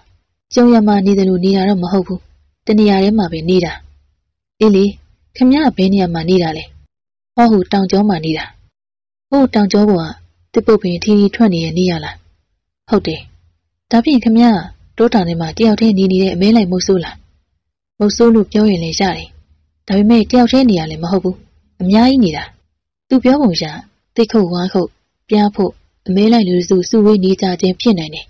ဒီနေရာနဲ့ဆိုရင်ခင်ဗျားတို့နေရနေရနဲ့နီးနီးလေးပဲကျွန်တော်တို့လိုက်လို့မရဘူးလားဘာလိုက်လို့မှလဲကျွန်တော်တို့ကဖန်လောင်းချောင်းပြမှာနှစ်နောက်သွားပြင်မလို့ဖန်လောင်းချောင်းဆိုတာဘယ်ရောက်ခေါ်တာလဲကျုပ်တို့နေတဲ့နေရာမှာတော့ဘာချောင်းမှမရှိဘူးဟုတ်လားကျွန်တော်တို့တောထဲမှာမျက်စိလေးလမ်းမှားပြီးတော့ဖန်လောင်းချောင်းပြောင်းနေပြီ ဒါကြောင့်ခမရတို့စီမှာတညတာနားနေစခန်းချညအိပ်ပြီးတော့မှနောက်နေ့မှာဖန်လောင်းချောင်းကိုရှာရတော့မှာဘလို့လေဖြစ်တယ်မို့လားတညတလေတော့အိတ်လို့ရပါတယ်ဒါပေမဲ့ကျုပ်ဒီခွေးကိုမြေမြုပ်ရအောင်မယ်ကျွန်တော်တို့ဝိုင်းကူပါမယ်ဒီနောက်ကျွန်တော်တို့တွေအဲ့ဒီလိုကူပြီးတော့ခွေးကောင်ကြက်ကြကြနာမြေမြုပ်ပြီးတယ်ကျေးဇူးတင်ပါတယ်ကျုံနဲ့လိုက်ခဲ့ကြကျွန်တော်တို့အဲ့ဒီသူဥဆောင်ရနောက်လိုက်ခဲ့ကြတယ်တော့ကြတော့အဲ့ဒီလူနေထိုင်ရာနေရာကိုရောက်သွားကြတယ်တဲတွေအများကြီးပဲ ကလေးလူကြီးမိန်းမအရွယ်ဆုံးရှိတယ်ဖိုးဖွားတွေတောင်ရှိလို့ကျွန်တော်တို့အလွန်မင်းအံ့ဩသွားကြတယ်ရွာတရွာလူပါပဲလားတောင်ဆောင်မှာတင်းနံပေမျိုးစုံလေးလေကားတွေစိုက်ပျိုးထားတာတွေ့ရတယ်ဒါဆိုရင်တော့တစ်ခုတ်ဝါခုတ်ပြားဖို့အမဲလိုက်လူတွေစုတော့မဟုတ်နိုင်ဘူးဒီနေရာမှာအခြေကျနေထိုင်သူတွေဖြစ်နိုင်တယ်။တောင်ပေါ်တွန်းနဲ့ကွင်းရရွာတရွာပေါ့။ဒီမှာနေထိုင်တဲ့သူတွေမနှဲပါလား။ဘယ်တော့မှဒီမှာလာပြီးတော့နေထိုင်ကြတာလဲ။ကျုပ်ငငယ်လေးကဒီမှာနေထိုင်ကြတာပဲ။ ဒီနေရာလေးကိုဘလို့ခေါ်လဲ။ငါတို့နေတဲ့နေရာလို့ပဲပြောကြတယ်။သမုတ်ကြတယ်။ဟင်ကျွန်တော်နဲ့ကိုလင်းတယောက်ကိုတယောက်ကြည့်ပြီးပြုံးမိတယ်။ဘာလဲကျုပ်ပြောတာလက်မခံဘူးလား။အဲ့လိုမဟုတ်ပါဘူး။တမျိုးကြီးဖြစ်နေလားလို့ငါတို့နေတဲ့နေရာဆိုတာအားလုံးနဲ့ဆိုင်သွားပြီလေနောက်ခေတ်အဆက်ဆက်မှာငါတို့မရှိတော့ပေမဲ့မျိုးဆက်တဲ့လူငယ်တွေရှိလာကြအောင်မှာသူတို့အချိန်ခါကြာရင်လေငါတို့နေတဲ့နေရာဆိုတာအဝင်ခွင်ကြရှိနေဦးမှာ ဘာသမိုင်းကြောင်မှလှမ်းပြီးပြောပြနေစရာမလိုတော့ဘူးသူတို့ကလည်းငါတို့နေတဲ့နေရာလိုပဲပြောလို့ရတာပဲမို့လားနောက်စင်ကဲစင်ကဲမျိုးဆက်တဲ့တွေပြောင်းသွားအောင်တော့ငါတို့နေတဲ့နေရာဆိုတာပြောင်းလဲစရာမရှိတော့ဘူးဟုတ်ပါပြီဗျာခြေရရှိတဲရင်တလုံးရှိကိုရောက်တော့လာဗျာဒီမှာဝင်လိုက်ကြစို့ခြေတန်းရှိတဲအိမ်နဲ့ရောက်တော့ကျွန်တော်တို့နဲ့စုံမှုတဲ့အမျိုးသမီးကိုတွေ့ရတယ်ကျွန်တော်တို့ဒီခေါ်လာမယ်ဆိုပြီးမျက်ခြေဖြတ်ခဲ့တဲ့အမျိုးသမီးဒီနေရာမှာထမ်းရောက်ဆိုတဲ့သူကို ကျွန်တော်တို့မုတ်ချမသွေတွေ့ရတော့မယ်ဟဲ့ညင်းတခင်မရှိလားဒီကိုလူစိမ်းတွေခေါ်မလာရဘူးလို့တခင်မထမ်းရောက်ပြောထားတာမမှတ်မိဘူးလားငါစိတ်တူနေရနော်ညီစကားကိုစင်ကျင်ပြောငါထမ်းရောက်ရဲ့ကိုပဲငါနဲ့မငါ့ကိုဘယ်တော့ကလန်ကစားလုပ်ခဲ့လို့လဲပြောလိုက်တော့မှအဲ့ဒီမိန်းကလေးခေါင်းပူဝင်သွားတယ်။သူမကျွန်တော်တို့နှလုံးဝိုင်းသားနဲ့ကြည့်နေတယ်။ဟဲ့ဘာကြောင်ကြည့်နေရလဲ။လူတွေပဲလေဘာထူးဆန်းလို့လဲ။တခင်မရှိပါတယ်။အေးသွားခေါ်ကြီးစမ်း။ဟုတ်ကဲ့။ သူမအဲ့ဒီသူအလစ်မှာကျွန်တော်တို့မျက်လုံးတစ်ဖက်မိတ်ပြပြီးခေါင်းကိုညှင်သာစွာရမ်းပြတယ်။သူမဘာလို့ဆိုလိုချင်တာသဘောပေါက်တယ်။ကျွန်တော်တို့လည်းသူမကိုခေါင်းဆက်ပြတယ်။ကျွန်တော်တို့ပြစ်တက်ခဲ့တဲ့စက်တိကောင်နဲ့ပတ်သက်ပြီးနှုတ်ဆက်နေဖို့တတိပေးတာ။ကဲထိုင်ကြဗျာ။ကျုပ်ခမရတို့အတွက်စားစရာသွားယူမယ်။အဲဒီသူကကျွန်တော်တို့တဲပေါ်မှာထိုင်နေစေပြီးသူကပြန်ဆင်းသွားတယ်။ကြီးလေငါတို့ထမ်းရောင်တွေ့ရတော့မယ်။ရက်တို့ရွာသူထမ်းရောင်ဟုတ်မဟုတ်ဆိုတော့မင်းကောင်းကောင်းသိမှာပေါ့။အင်း တခင်မလာပြီ။အတန်နဲ့အတူတဲတွင်ကစောစောအမျိုးသမီးပြန်ထွက်လာတယ်။ဟင်သူမနောက်ကထောင်ထောင်မောက်မောက်အမျိုးသမီးတယောက်ပါလာတယ်။ထမ်းရောက်လာ။ကျွန်တော်ကကင်းလေးကိုတိုးငင်းစွာကန့်မိတယ်။ဘလို့ဖြစ်နိုင်မှာတော့ဗျာ။တခင်မထမ်းရောက်စွာခမည်းလာ။ကိုလင်းရမေးတော့တခင်မထမ်းရောက်ဆိုသူကမေပြုံးပြုံးပြီးဧည့်သည်တွေလား။အကိုကြီးဖမ်းလာတဲ့သူတွေလား။ဒီလိုမေးလာလို့အံ့ဩမိသေးတယ်။စင်းစင်းဆဆပြောစမ်းပါဗျာ။ ကျွန်တော်တို့ကတောင်းရောက်ခမည်းကူကတယောက်ဘလို့လို့ကျွန်တော်တို့ဖမ်းခေါ်လာတာဖြစ်မှာလဲပြီးတော့ကျွန်တော်တို့မှဘာပြစ်လုံးမိလို့လဲရှင်တို့ဖမ်းခေါ်လာတာခံရတာမဟုတ်ဘူးဆိုတာတော့လက်ခံပါပြီဒါပေမဲ့စောစောရှင်တို့ပြောတဲ့စကားတခုမှားနေတယ်ဘာများလဲကျမကအင်မတန်တန်မာတဲ့လူတစ်ယောက်ရှင်တို့သုံးယောက်မပြောနဲ့ဝန်တခါတော့လက်ကြီးတက်တက်နဲ့တပ်ပုတ်တက်ပြတ်နိုင်နေသူမတကယ်ပြောနေရလားတက်တက်မဲ့ကြည်စဲနေရလားတော့သူမပဲသိလိမ့်မယ် ရှုံလောက်မဲ့စကားပြောလိုက်တာလားမျက်မြင်ကိုယ်တွေကြုံရမှာပါပြောပြီးတော့သူမကျွန်တော်တို့နောက်ကျော်လှမ်းခဲ့ကြည့်ပြီးအခုဧည့်သည်တွေခေါ်လာတာလားအေးကိုကတော့လောက်ပြီငါကကျင်နာတနာတတ်တယ်လေကိုချင်းစာနာတတ်တယ်ညီရတာမိန်းကလေးဖြစ်ပြီးစာနာကျင်နာတနာစိတ်မရှိတာဒါတွေထားပါတော့ကိုရဲ့ကဲပြောညီမလေးဘာလုပ်ပေးရမလဲဒီဧည့်သည်တွေဒီမှာညအိတ်လိမ့်မယ်မနေ့ပြန်စောစောပြန်ကြမယ်မနေ့ပြန်ပြန်မယ်ဆိုတာလက်ခံပါတယ်ဒါပေမဲ့လို့ ခမရကျွန်တော်တို့ဖန်းလောက်ချောင်းကိုညှို့အောင်လေကျွန်တော်ဒီလိုမေးတော့ထမ်းရောက်ဆိုသူဟာဖန်းလောက်ချောင်းကိုဘာသွားလုပ်မှာလဲညနောက်သွားပြစ်မလို့ဒီတော့ထမ်းရောက်ဆိုသူဟာရှိတယ်ညနောက်သွားပြစ်မှာရီစရာလားဗျညီမလေးရီကအကြောင်းရှိပါတယ်ဒီရောက်လာတဲ့လူတော်တော်များများညနောက်လာပြင်လမ်းမလျှောက်လာတဲ့သူတွေကြီးပဲညနောက်ပြစ်ချင်တဲ့သူကညနောက်ရှိတဲ့နေရာတော့မသွားမလာတတ်တော့ညီမလေးကဒါကိုသဘောကျရင်းနေတတ်တာလေညနောက်ကိုလုံရှူးပွဲအတွက်လာတက်ကြလား သူမကမေးတော့ကီးလေးရရှေ့ကိုထွက်ပြီးနနောက်ကအကောင်ကြီးတယ်အသားထွက်များတယ်လုံရှူးပွဲဆိုတာတရွာလုံးကကြခုံကြခေါင်ရည်တောက်ကြနနောက်သားစားကြနဲ့ပျော်စရာကောင်းတဲ့ပွဲပြပြီးတော့အဲ့ဒီပွဲမှာကိုကြိုက်တဲ့ကောင်မလေးကိုရှာတက်ကြတယ်ပွဲတော်ဆိုတော့အလှဆုံးပြင်ဆင်တက်ကြတယ်စိတ်ပျော်ရွှင်နေတဲ့အတွက်ပျော်စကားအောင်တက်ကြတယ်ပြီးတော့နနောက်တစ်ကောင်ဆိုရင်နှစ်ကောင်ဆိုရင်သုံးကောင်ဆိုရင်ညာရင်များများတက်ပြက်ကျွေးမွေးနိုင်ရင်ဂုံယူစရာလို့သတ်မှတ်ကြတာဗျ ရှင်တို့ဂုံယူခံနိုင်ဖို့အတွက်ချောင်းပြားမှာအေးအေးလူလူနေကြတဲ့နနောက်တွေကဒုက္ခရောက်ကြရတာပေါ့လေပြောလာတဲ့သူမကိုကျွန်တော်နဲ့ကိုလင်းထင်ကြီးကြည့်မိတယ်တွေးခေါ်ရှိသူပဲဒါကြောင့်ဒီနေရာလေးမှာတခင်မဖြစ်နေတာများလားကဲပါညီမလေးရဲ့ဒါသူတို့ကိစ္စအကူတို့ဧည့်သည်ဖြစ်လက်ခံလိုက်ပြီဆိုတော့ရင်ရှင်ပြီးသားရတော့မယ်ဒါဖြင့်ကိုကြီးပြောကြည့်နေသူတို့ကိုကြီးခေါ်သွားမယ်ညီမလေးကိုတရင်ပေးတာလို့ပဲသတ်မှတ်လိုက်ပါအင်းမာ သူမပြောပြီးတော့အတွင်းကပြန်ဝင်သွားတယ်လာကြပြုအဲ့ဒီလူခေါ်ရနောက်ကျွန်တော်တို့လိုက်သွားကြရတယ်။တောင်ကုန်းပေါ်ကတဲရင်တလုံးကိုရောက်လာတယ်။ခင်ဗျားတို့ဒီမှာနားနေညအိတ်ကြပြီးတော့စားကြံလဲကျုပ်စီစဉ်ထားပြီးပြီ။ကျေးဇူးတင်ပါတယ်။ကဲကျုပ်သွားမယ်။အော်ပြောထားရအောင်မေ။ဒီတောင်ကုန်းပေါ်ကနေဘယ်မှမသွားနဲ့နော်။ဘာလို့လဲ။ခင်ဗျားတို့အတွက်အန္တရာယ်ရှိလို့ဘလို့အန္တရာယ်များလဲ။ဒီလောက်ပဲသိထားတဲ့နေ။ဒါဖြင့်ကျွန်တော်တို့ရီမိုးချုံရော တဲထဲမှာရေခတ်ထားတယ်။တင်ဟုတ်ပါလား။ထင်းမိပုံနဲ့လှုပ်ထားတယ်။ခေါင်ရည်လေးရှိတယ်။အဲ့ဝေကျေလှပါလား။ဒီနောက်အဲ့ဒီသူကထွက်သွားလို့ခင်ဗျားပြန်မလာတော့ဘူးလား။ဒါမှပေါ့။ဘာသွားလို့မလို့လဲ။တဲဆက်စုပါလား။ပြောပြီးတော့အဲ့ဒီသူလှည့်ထွက်သွားတယ်။ကိုပိုက်တော်ခန်းလန်းရပြီ။ကိုလင်းကပြောပြီးသူ့ရဲ့ဝီစကီပလင်းကိုထုတ်ပြီးတော့တဲအတွင်းဝင်သွားလို့ကျွန်တော်နဲ့ကင်းနေနဲ့နောက်ကလိုက်ဝင်တော့တယ်။တဲအတွင်းမှာစပွဲဝိုင်းတစ်ခုခင်းထားပြီး စပွဲဝိုင်းမှာစားတောက်စရာတွေခင်းကျင်းထားတယ်။ကျွန်တော်တို့အတွက်အမီးတော့အစင်တင်မဲဗျ။ကျွန်တော်တို့တဲအတွင်းဟိုဒီကြည့်တယ်။ဒီမှာခေါင်ရည်အိုးပဲ။တဲထဲမှာခေါင်ရည်ထည့်ထားတဲ့အိုးတစ်လုံးရှိတယ်။ဝါးပိုက်တစ်ချောင်းလည်းအရန်တင်တက်ထားတယ်။ရေငတ်နေရတဲ့တော်ပဲ။ကင်းလျာခေါင်ရည်ကိုစုပ်တောက်တယ်။ဟာကင်းလျာအမေရိတန်ကြောင့်ကျွန်တော်နဲ့ကိုလင်းကင်းလင်းကိုကြည့်လိုက်ကြတယ်။ကင်းလင်းဘာလို့လဲ။အင်မတန်ကောင်းတဲ့ခေါင်ရည်ဖြစ်နေလို့ပဲ။မင်းတို့ရွာခေါင်ရည်ထက်တာကောင်းတယ်လား။ကျွန်တော်တို့ရွာခေါင်ရည်ကောင်းလို့နေဆိုတာ ဒီခေါင်ရည်ကိုဘယ်မိပါမလဲမှန်ငါတောက်ကြည့်အောင်မေပြင်းရှာချိုမြမွေးတေးတေးလေးပါလားကိုလင်းကျွန်တော်ဝီစကီမတောက်တော့ကိုလင်းငီးစမ်းကြည့်ပါလားကောင်းပြီလေကိုလင်းလည်းခေါင်းကြီးကိုတောက်နေတယ်ဟာတကယ်ကောင်းတာပဲကိုလင်းသဘောကျသွားပြီမို့လားအေးဗျာကျွန်တော်တို့သုံးယောက်ခေါင်းရည်တောက်ပြီးတဲ့နောက်အစာစားလိုက်ကြတယ်ခေါင်းရည်ကတောက်ကောင်းတယ်လို့အစားအစာတွေကလည်းငြိမ်ကြတယ်ပြီးတဲ့နောက်နားနေလိုက်ကြတယ်နားနေရင်ကနေကျွန်တော်တို့အိပ်ပျော်သွားကြတယ်ဘ လောက်ကြကြအိပ်ပျော်သွားတယ်မသိတဲချမ်းကင်းပေါ်ချွတ်နေတန်ကြောင်နိုးလာတယ်အဲ့ဒီသူပြန်ရောက်လာခြင်းပဲကိုလင်းနဲ့ကင်းလင်းရအဲ့ဒီသူရုတ်တရက်လုံးထွေးတပ်ပုတ်လိုက်ကြတယ်အလို့ကြောက်မှလေလုံးထွေးနေရာကနေကိုလင်းနဲ့ကင်းလင်းအဝေးကိုနှွှဲထွက်သွားတယ်အင်မတန်တန်ပါပါလားကျွန်တော်အဲ့ဒီသူစီကိုရုတ်တရက်ထပြေးပြီးတော့တိုက်ခိုက်တယ်အဲ့ဒီသူကိုကျွန်တော်ရှော့တွက်မိလို့ကျွန်တော်တဲချမ်းကင်းပေါ်ပလက်လန်လေးကျသွားတယ်ပြန်မထနိုင်တော့အိုး မင်းကကျုပ်ကိုအလေးဝင်တိုက်တယ်ပေါ့ဒီအချိန်ကင်းနဲ့ကအဲ့ဒီသူကိုလှန်နဲ့ဝင်ထိုးတယ်ပြေးထိုးတာကင်းလင်းဖြစ်ပေမဲ့လှန်ရဲ့အသွားစိုက်ဝင်သွားတာကင်းလင်းပဲဖြစ်နေတော့တယ်ကင်းလင်းတယောက်သွေးလေးလေးနဲ့ကျမ်းမြေပေါ်ပက်လက်ကျသွားတယ်ဒီမြင်ကွင်းကကျွန်တော်အလွန်မင်းထိတ်လန့်စေတယ်ကျွန်တော်ဘာလို့ရမှမသိတော့ဘူးကိုပိုက်ကိုပိုက်အတန်နဲ့အတူကျွန်တော်အသိဝင်လာတယ်ဖခင်ရေကျွန်တော်အိမ်မက်ဆိုးမက်နေတာပါလားကျွန်တော်ရဲ့အိမ်မက်ဆိုးကိုလင်းကိုပြောပြတော့ ကိုပတ်ရေဟိုလူကခမားတင်တယ်လို့မဟုတ်ပါဘူးကျွန်တော်ပေါ်မှာအင်မတန်ကောင်းပါတယ်အဲ့ဒီလူပြန်လာသေးလားကိုမလေးပြောလို့ကျွန်တော်လှမ်းကြည့်တော့ခင်းမိပုံပေးမှာ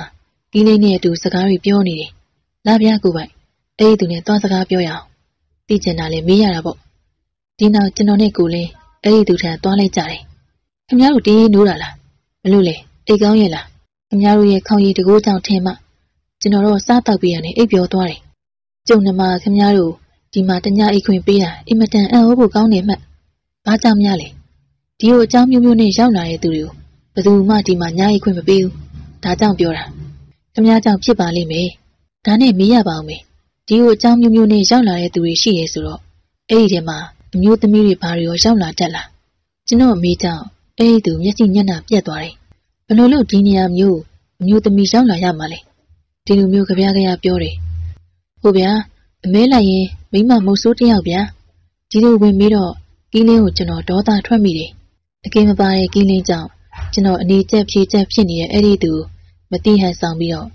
ကီးလင်းရဲ့မင်းကအင်မတန်ရည်စရာပြောတာပဲမိမမုတ်ဆိုးရလို့ရှိပါမလားဒီတော့မှအဲ့ဒီသူကလည်းအေးလီဗျာပျော်ရွှင်စွာနဲ့ပြောလာတော့တယ်ကီးလင်းကကျွန်တော်ရဲ့မျက်နှာရိပ်မျက်နှာကဲအကဲခတ်မိတာကြောင့်ဖြစ်မယ်ဘာမှမပြောတော့ဘူး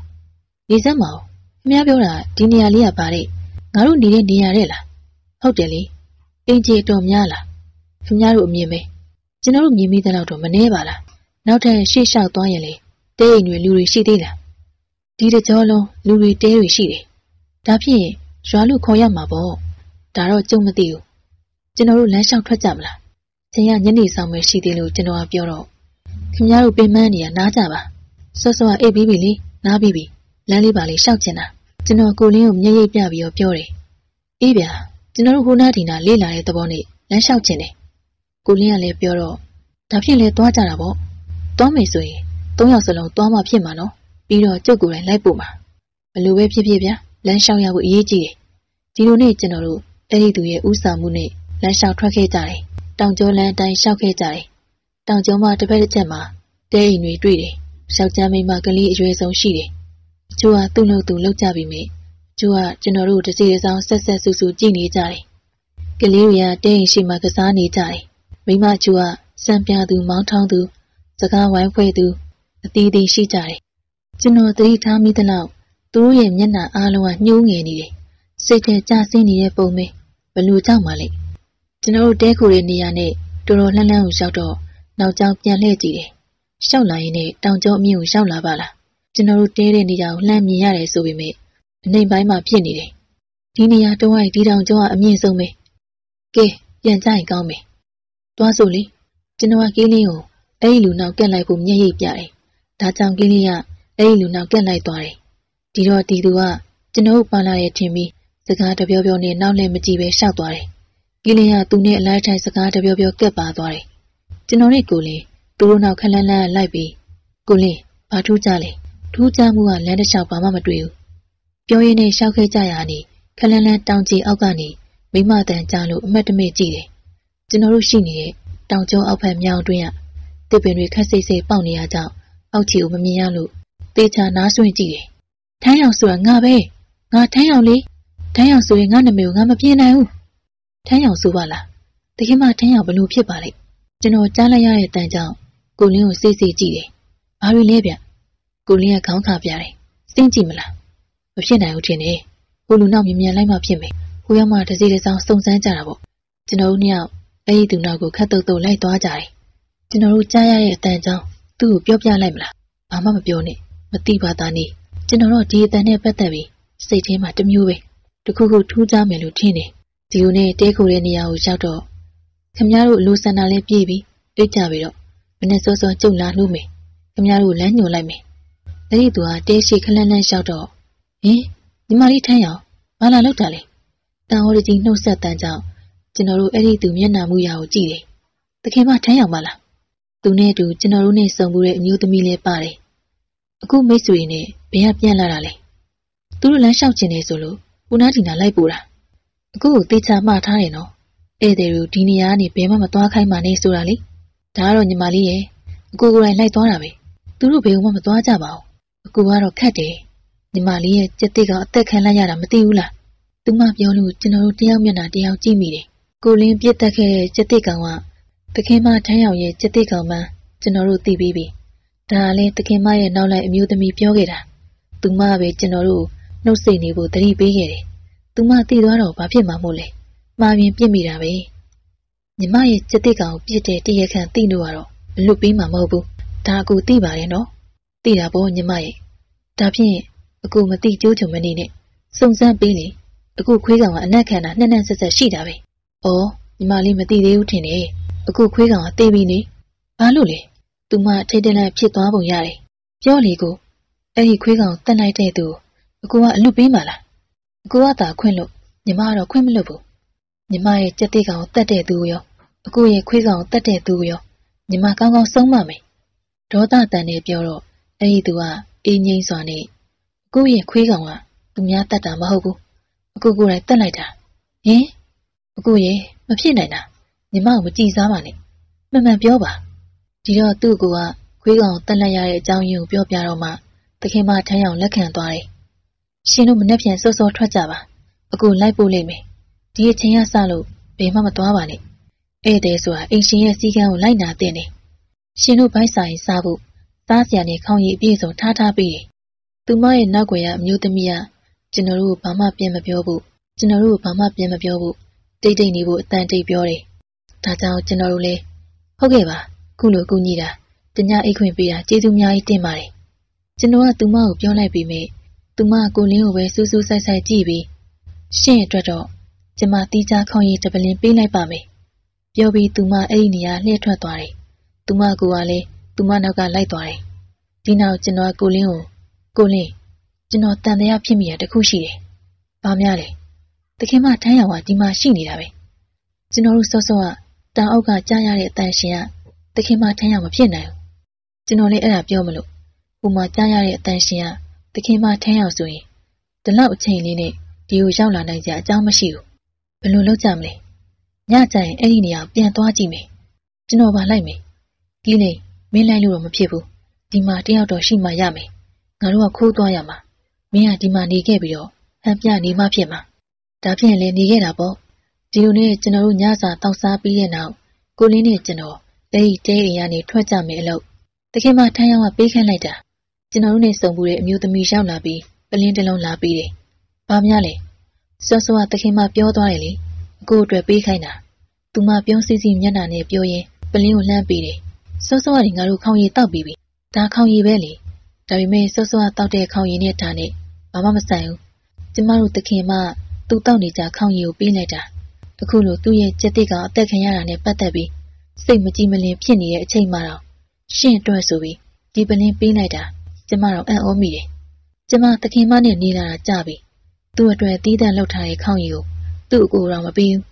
ပြီးတော့သခင်မစိတ်မချမ်းမသာဖြစ်နေတဲ့အချိန် ဒေါသထွက်နေတဲ့အချိန်မျိုးမှာသူ့စိတ်ထဲဘာမှရှိရတာမဟုတ်ဘူးခုဘယ်နဲ့ကြောင့်သခင်မရှင့်ကိုစေတနာတွေပူနေပါလေပြောပြီးတော့မျိုးသမီးရရှိသွမ်းသွေးနေတယ်။ကျွန်တော်ကိုလင်းကိုကြည့်တော့ကျွန်တော်သဘောပေါက်တယ်လို့ကိုလင်းလည်းသဘောပေါက်ပုံရတယ်။သူ့မျက်နှာနီးရဲနေတယ်။သခင်မထမ်းရောက်ရဲ့စေတနာမြစ်တာမှန်ကိုကိုလင်းလည်းသဘောပေါက်နားလည်လိမ့်မယ်ကျေးဇူးတင်ပါတယ်ဗျာကျွန်တော်ကကြားဝင်ပြောတော့ကာယကံရှင်ရအောင်ဘာများပြောချင်လဲကိုလင်းကိုမေးတော့ ဩဟုတ်ပါပြီသခင်မကိုပြောလိုက်ပါကျေးဇူးအများကြီးတင်ပါတယ်လို့ဒီခေါင်ရီတောက်ပြီးတော့အိပ်ပါတော့မယ်လို့မင်္ဂလာညပါလို့နှုတ်ဆက်စကားပါပြောပြပါပြီးတော့အိမ်မက်လှလှမတ်ပါစေလို့လည်းပြောပြအောင်ပြောပြပါကိုလင်းရဲ့ပြောစကားကြောင့်သူမသဘောကျကြီးကြပြီးကောင်းပါပြီရှင်ပြောပြီးတော့လှည့်ထွက်သွားတော့တယ်ကိုလင်းသခင်မရဲ့အိမ်မက်ထဲသွားဖို့စီစဉ်ရှိလားကိုပိုက်ရေမနောက်ပါနဲ့အဲ့လိုပြောလိုက်မှသူကြည်နေပြီးတော့ကျွန်တော်တို့ပေါ်ယုံကြည်မှုရှိမှာ ပြီးတော့သူ့အိမ်မက်ထဲကျွန်တော်တကယ်လာမေးဆိုပြီးစောစောအိယာဝင်တော့မယ်ဒီတော့ကျွန်တော်တို့အတွက်ညထွက်ဖို့အခွင့်အရေးပဲမို့လားဟုတ်ပါတယ်ဗျာကျွန်တော်တက်တက်မဲ့ကိုလင်းကိုစတာပါကဲသွားစို့ကျွန်တော်တဲပြင်ကိုထွက်ပြီးအရက်လေးမျက်နှာဝေးဝိုက်ကြည့်တယ်မှောင်မဲတိတ်ဆိတ်နေတယ်လာအလင်းရောင်ကမြေပြင်ပေါ်ဖြာကျနေတယ်ဆိုပေမဲ့ရီးရီးမျှပဲမြင်ရတယ်ဒီနေ့မင်းကငါတို့ပြန်လာတဲ့အထိထိုင်ဆောင်မနေနဲ့အိတ်ဆရာရှိရအိတ်နေနူးနူးကြကြတော့ရှိပါစေပြီးတော့မင်းအိတ်တဲ့ဘေးမှာ ငါတို့နှစ်ယောက်အိတ်တဲ့ပုံစံလောက်တာဟုတ်ပြီလားဒီနောက်ကျွန်တော်တို့နှစ်ယောက်ထွက်ခဲ့ကြတယ်တဲအိမ်တွေကိုတက်နိုင်ဆုံးရှောင်ကွင်းသွားကြတယ်ဂျီယိုနဲ့ကျွန်တော်တို့တဲအိမ်တွေနဲ့အဆက်ပြတ်တဲ့နေရာကိုရောက်လာကြတယ်ကိုလင်းရေဟိုးရှိနေရအောက်ခြေဘက်ကအတန်ကြားရတာမို့လားမပြောတတ်ဘူးဗျအဲ့ဒီနာຫນွေဘက်တစ်ပင်တွေနာရောက်မှတေချာကြည့်ရမှာမောင်မောင်မဲမဲနဲ့အန်နီရဲ့နဲ့ကြုံရင်လက်ဦးမှုရစေဖို့ကျွန်တော်တနက်ပြောင်းရှေ့ကိုထိုးချိန်ပြီးရှေ့ရလျှောက်ခဲ့တယ်ဒီအချိန် မထင်မဖဲဝန်ကောင်နဲ့ရုတ်တရက်တူတော့မိမိကိုယ်ကိုကာကွယ်ဖို့ပြစ်လိုက်ရတယ်ဝန်ကောင်အနည်းငယ်ပြစ်ခံရလို့တုံးလုံးလဲသွားတယ်ဒုက္ခပါပဲဗျာဘယ်တက်နိုင်မှမလဲကိုလင်းရဲ့အဲ့လိုလက်ဦးမှုမရှိရင်ကျွန်တော်ဝင်ကောင်ကရရက်ဆက်ဆက်လှုပ်သွားမှာတနက်တန်ကြရင်တခင်မထမ်းရအောင်ကျွန်တော်တို့အပြင်ကိုခိုးထွက်တာသိတော့မှာကျွန်တော်တောင်းပန်ပါတယ်ကိုလင်းရဲ့ကိုပိုက်ကျွန်တော်စကန်းတည်းပြန်သွားရင်ကောင်းမယ်စကန်းမှာဟန်မပြတ်အိတ်နေတခင်မပန်းရအောင်ကျင်းနေစီမယ်ထင်တယ်အင်းလေသွားတာပေါ့ ကျွန်တော်နဲ့ကိုလင်းလာလန်းအတိုင်းပြန်ခဲ့တော့လူရှိတယ်လူရှိတယ်ထင်တယ်နားကြပါဦးရှင်ကျမကိုကယ်ကြပါဦးအတန်ကြားလို့ကြက်သိမ်းထားမိတယ်ညင်းတဲ့တကောင်နာနာဘဝများလားတောတောင်ထဲမှာမိမတန်ကြားရလို့အံ့ဩထိတ်လန့်ပွေရပဲကျွန်တော်ထိတ်လန့်မှုဖြစ်ပေမဲ့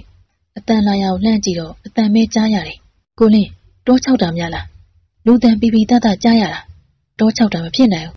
အတန်ချုံပင်နောက်ကွယ်ကြားရတာသွားစို့ကိုလင်း ကျွန်တော်တို့စကန်ပြန်မထင်နေကီလင်ပြဿနာဖြစ်နိုင်တယ်မဖြစ်နိုင်ပါဘူးသူအရေးကြုံရင်ထွက်ပေါက်ရှာနိုင်ပါတယ်ကျွန်တော်ပြောတာရုံမှကိုပိုက်ကျွန်တော်တို့နောက်ကိုကီလင်လိုက်လာလိမ့်မယ်ဘယ်လိုဖြစ်နိုင်မှလဲဖြစ်နိုင်တာပေါ့ကျွန်တော်တို့ညခိုးထွက်လာတာကီလင်သိရလေခုလိုတနက်တန်ကြတော့ကီလင်နဲ့တွတ်တော့မှာပေါ့သူအဲ့ဒီမှာဘယ်နေလို့ဖြစ်မလဲဒီတော့ကျွန်တော်တို့နောက်ကိုလိုက်လာလိမ့်မယ်ဒါမှမဟုတ်ရင်လေသူလည်းအဲ့ဒီမှာနေတာပဲထွက်ပြေးလာရတော့မှာပေါ့အင်းလေအဲ့လိုဆိုရင်တော့လေကောင်းတာပေါ့ ကျွန်တော်တို့ချုံပုံနာကိုရှောက်တော့ချုံပုတ်ပင်အတူကြီးပါလားကိုပိုက်ဒီမှာတကားချက်ဗျကိုလင်းကချုံပုတ်ပင်အတူနဲ့ဖုံးကွယ်ထားတဲ့တကားချက်ကိုဆွဲဖွင့်နေလိုင်ကောင်းပေါင်းကတခုပါလားကျွန်တော်လက်နေတမီနဲ့ထိုးလိုက်တော့လိုင်ကောင်းပေါင်းကကူပေါက်လေးဖြစ်နေတယ်သပင်ဖားရတဲ့အမျိုးသမီးတယောက်ကကူပေါက်တွင်းကျိုးတွေနဲ့တုံနှောင်ခံရပြီးရိုးရိုးလေးထိုင်နေပြီးကျွန်တော်တို့အံ့ဩတကြီးကြည့်နေတယ်ရုတ်တရက်မှုကျွန်တော်တရေတစီလာထင်မိသေးတယ်လူသားစစ်စစ်ဟုတ်ရလားကိုလင်း ကိုပိုက်ရဲ့လူလုံးမြင်ရပြီပဲလူပေါ့ရှင်တို့တွေကျမကိုလာခဲ့ရလားယင်အေးကျွန်တော်ပြီးစလေပြောလိုက်တယ်မင်းမသူလေဘလို့လို့ဒီလိုဖြစ်နေရလဲကိုလင်းကကြိုးဖြင်ရင်းနဲ့မေးတော့ပြောပြပါမယ်လက်တလောကျမစလောင်နေတယ်ဒါကြောင့်ကျွန်တော်လဲဝန်သေးကောင်ရှိရအောင်ပြန်သွားပြီးဝန်ကောင်ရဲ့ရင်အုံသားကိုလှိဖြတ်ပြီးတော့ကူပေါက်ထဲပြန်သွားတယ်ကူထံမရောက်ခင်တောင်ကျောပြန်တစ်ခုကိုရှောက်တော့ဟဲ့လူကိုပိုက်ဒီကိုလာဗျကိုလင်းရဲ့တန် ကျွန်တော်ကိုလင်းရှိအောင်သွားတယ်ကျွန်တော်တို့လုံခြုံတဲ့နေရာသွားမယ်ကိုပိုက်အဲ့ဒီမှာဝန်သားစားရင်းနဲ့သူပြောတာနားထောင်ကြတာပေါ့ဂျီယိုနဲ့အဲ့ဒီအမျိုးသမီးရောကျွန်တော်တို့ပါတောင်ကျောတစ်ခုပေါ်ရှောက်တော့အောက်ပေါင်းရှင်နဲ့တစ်ပင်တပင်အောက်မှာနားလိုက်ကြတယ်ဖင်းရှာမီးမွေးပြီးဝန်သားရှင်ကိုမီးခင်မှုတစုထိုးတယ်ပြီးရင်နောက်မီးပုံနားမှာကက်ပြီးတော့မီးခင်နေအမျိုးသမီးကိုလှည့်ကြည့်တော့ညစ်ညစ်ချာချာအိပ်ပျော်နေတယ်အိပ်ပါစေဗျာသူခမရခုမှလွတ်လွတ်လပ်လပ်စိတ်ချလက်ချအိပ်ရတယ်ထင်ပါကိုလင်း ထိုင်းအောင်ဆိုတာသူများလားဖြစ်နိုင်တယ်ကျွန်တော်တို့တွေအလွန်စိတ်ဝင်စားဖို့ကောင်းတဲ့ဇလန်းသိရတော့မယ်ထင်တယ်သိဟုတ်တာပေါ့ရှင်ပြောရင်းနဲ့သူမ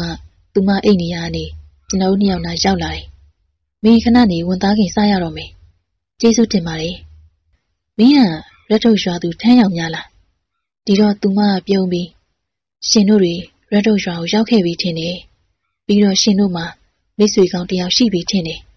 ဒီလိုမေးတာတော့ ကျွန်တော်သဘောမပေါက်လို့ကျွန်တော်တို့ရဲ့မိတ်ဆွေကောင်းဆိုတာဘာလို့ပြောတာလဲ။အော်ရက်ထုတ်ရွာဆိုတာတော်ရုံလူတွေမရောက်တတ်ကြဘူး။ရှင်တို့ပုံမှန်တရံကြည့်ရတာမုတ်ဆိုးတွေဖြစ်မယ်။ဒီနေရာမဟုတ်တာသိကြတယ်။အဝေးရလာတာဖြစ်မယ်။ပြီးတော့ရှင်တို့ဒီကိုရောက်လာတာလေတော်ရဲမှာသားကောင်ပြင့်လို့တာကြောင့်ဒေသကမုတ်ဆိုးတယောက်နဲ့ရင်းနှီးပြီးမှလာကြတာဖြစ်မယ်။အဲ့ဒီမုတ်ဆိုးကလည်းချင်းလူမျိုးတွေကဖြစ်မယ်။မဟုတ်မှလွဲရောကီးလေးများလားအင်မတန်တော်တဲ့မိန်းကလေးပါလား တွေးခေါ်မျောမြင်သိတဲ့သူပါလားပြောပါဦးဒီမှာမုတ်ဆိုးတွေအများကြီးရှိနိုင်တာပဲကီးလေးဖြစ်နိုင်မယ်လို့ဘာလို့ပြောနိုင်တာလဲဒီတော့သူမကပြုံးပြီးဒီနေ့တဝိုက်မှာကီးလေးကနာမည်ကြီးမုတ်ဆိုးလေဒီတော့ဒီတော့ကိုသူကျွမ်းနေပြီးတော့သူကပညာတတ်တယ်မိတ်ဆွေတွေပေါ်တယ်ရှင်တို့လိုသစိမ့်မုတ်ဆိုးတွေကသူ့ကိုပဲအားကိုအမဲပြစ်ကြတာများတယ်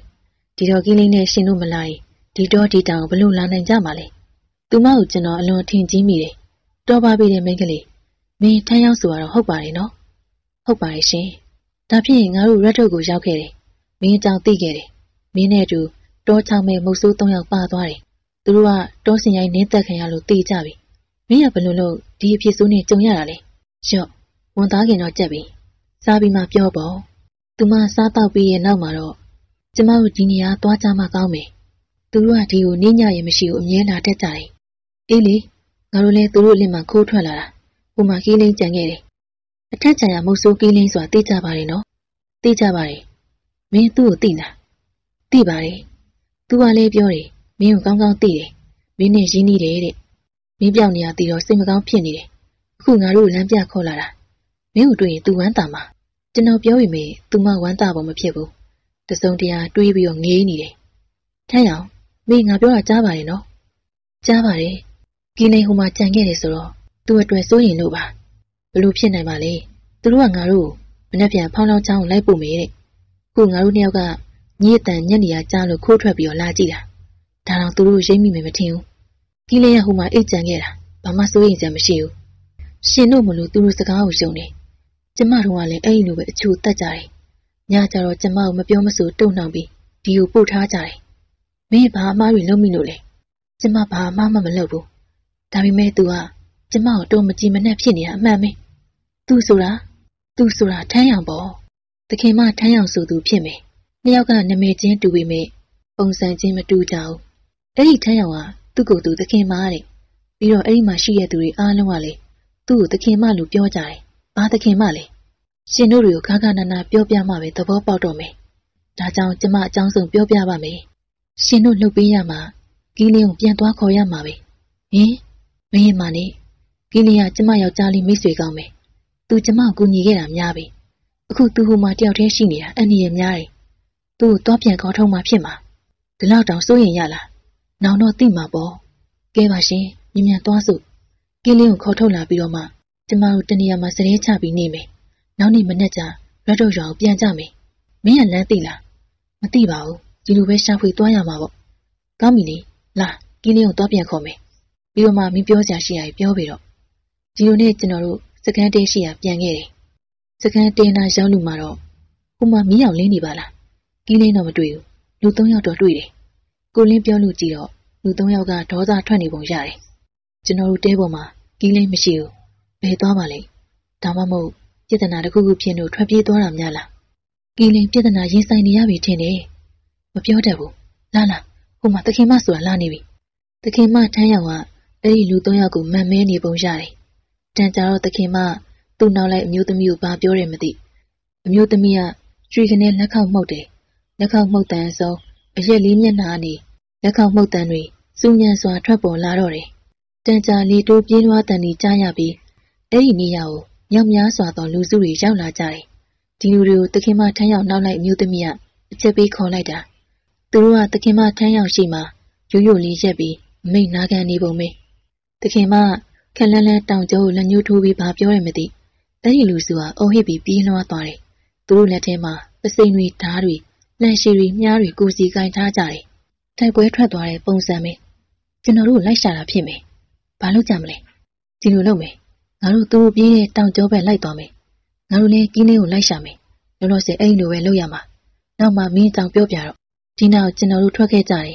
ရှင်တို့တွေကံကောင်းတာဘာလို့လဲသိလားဘာလို့လဲ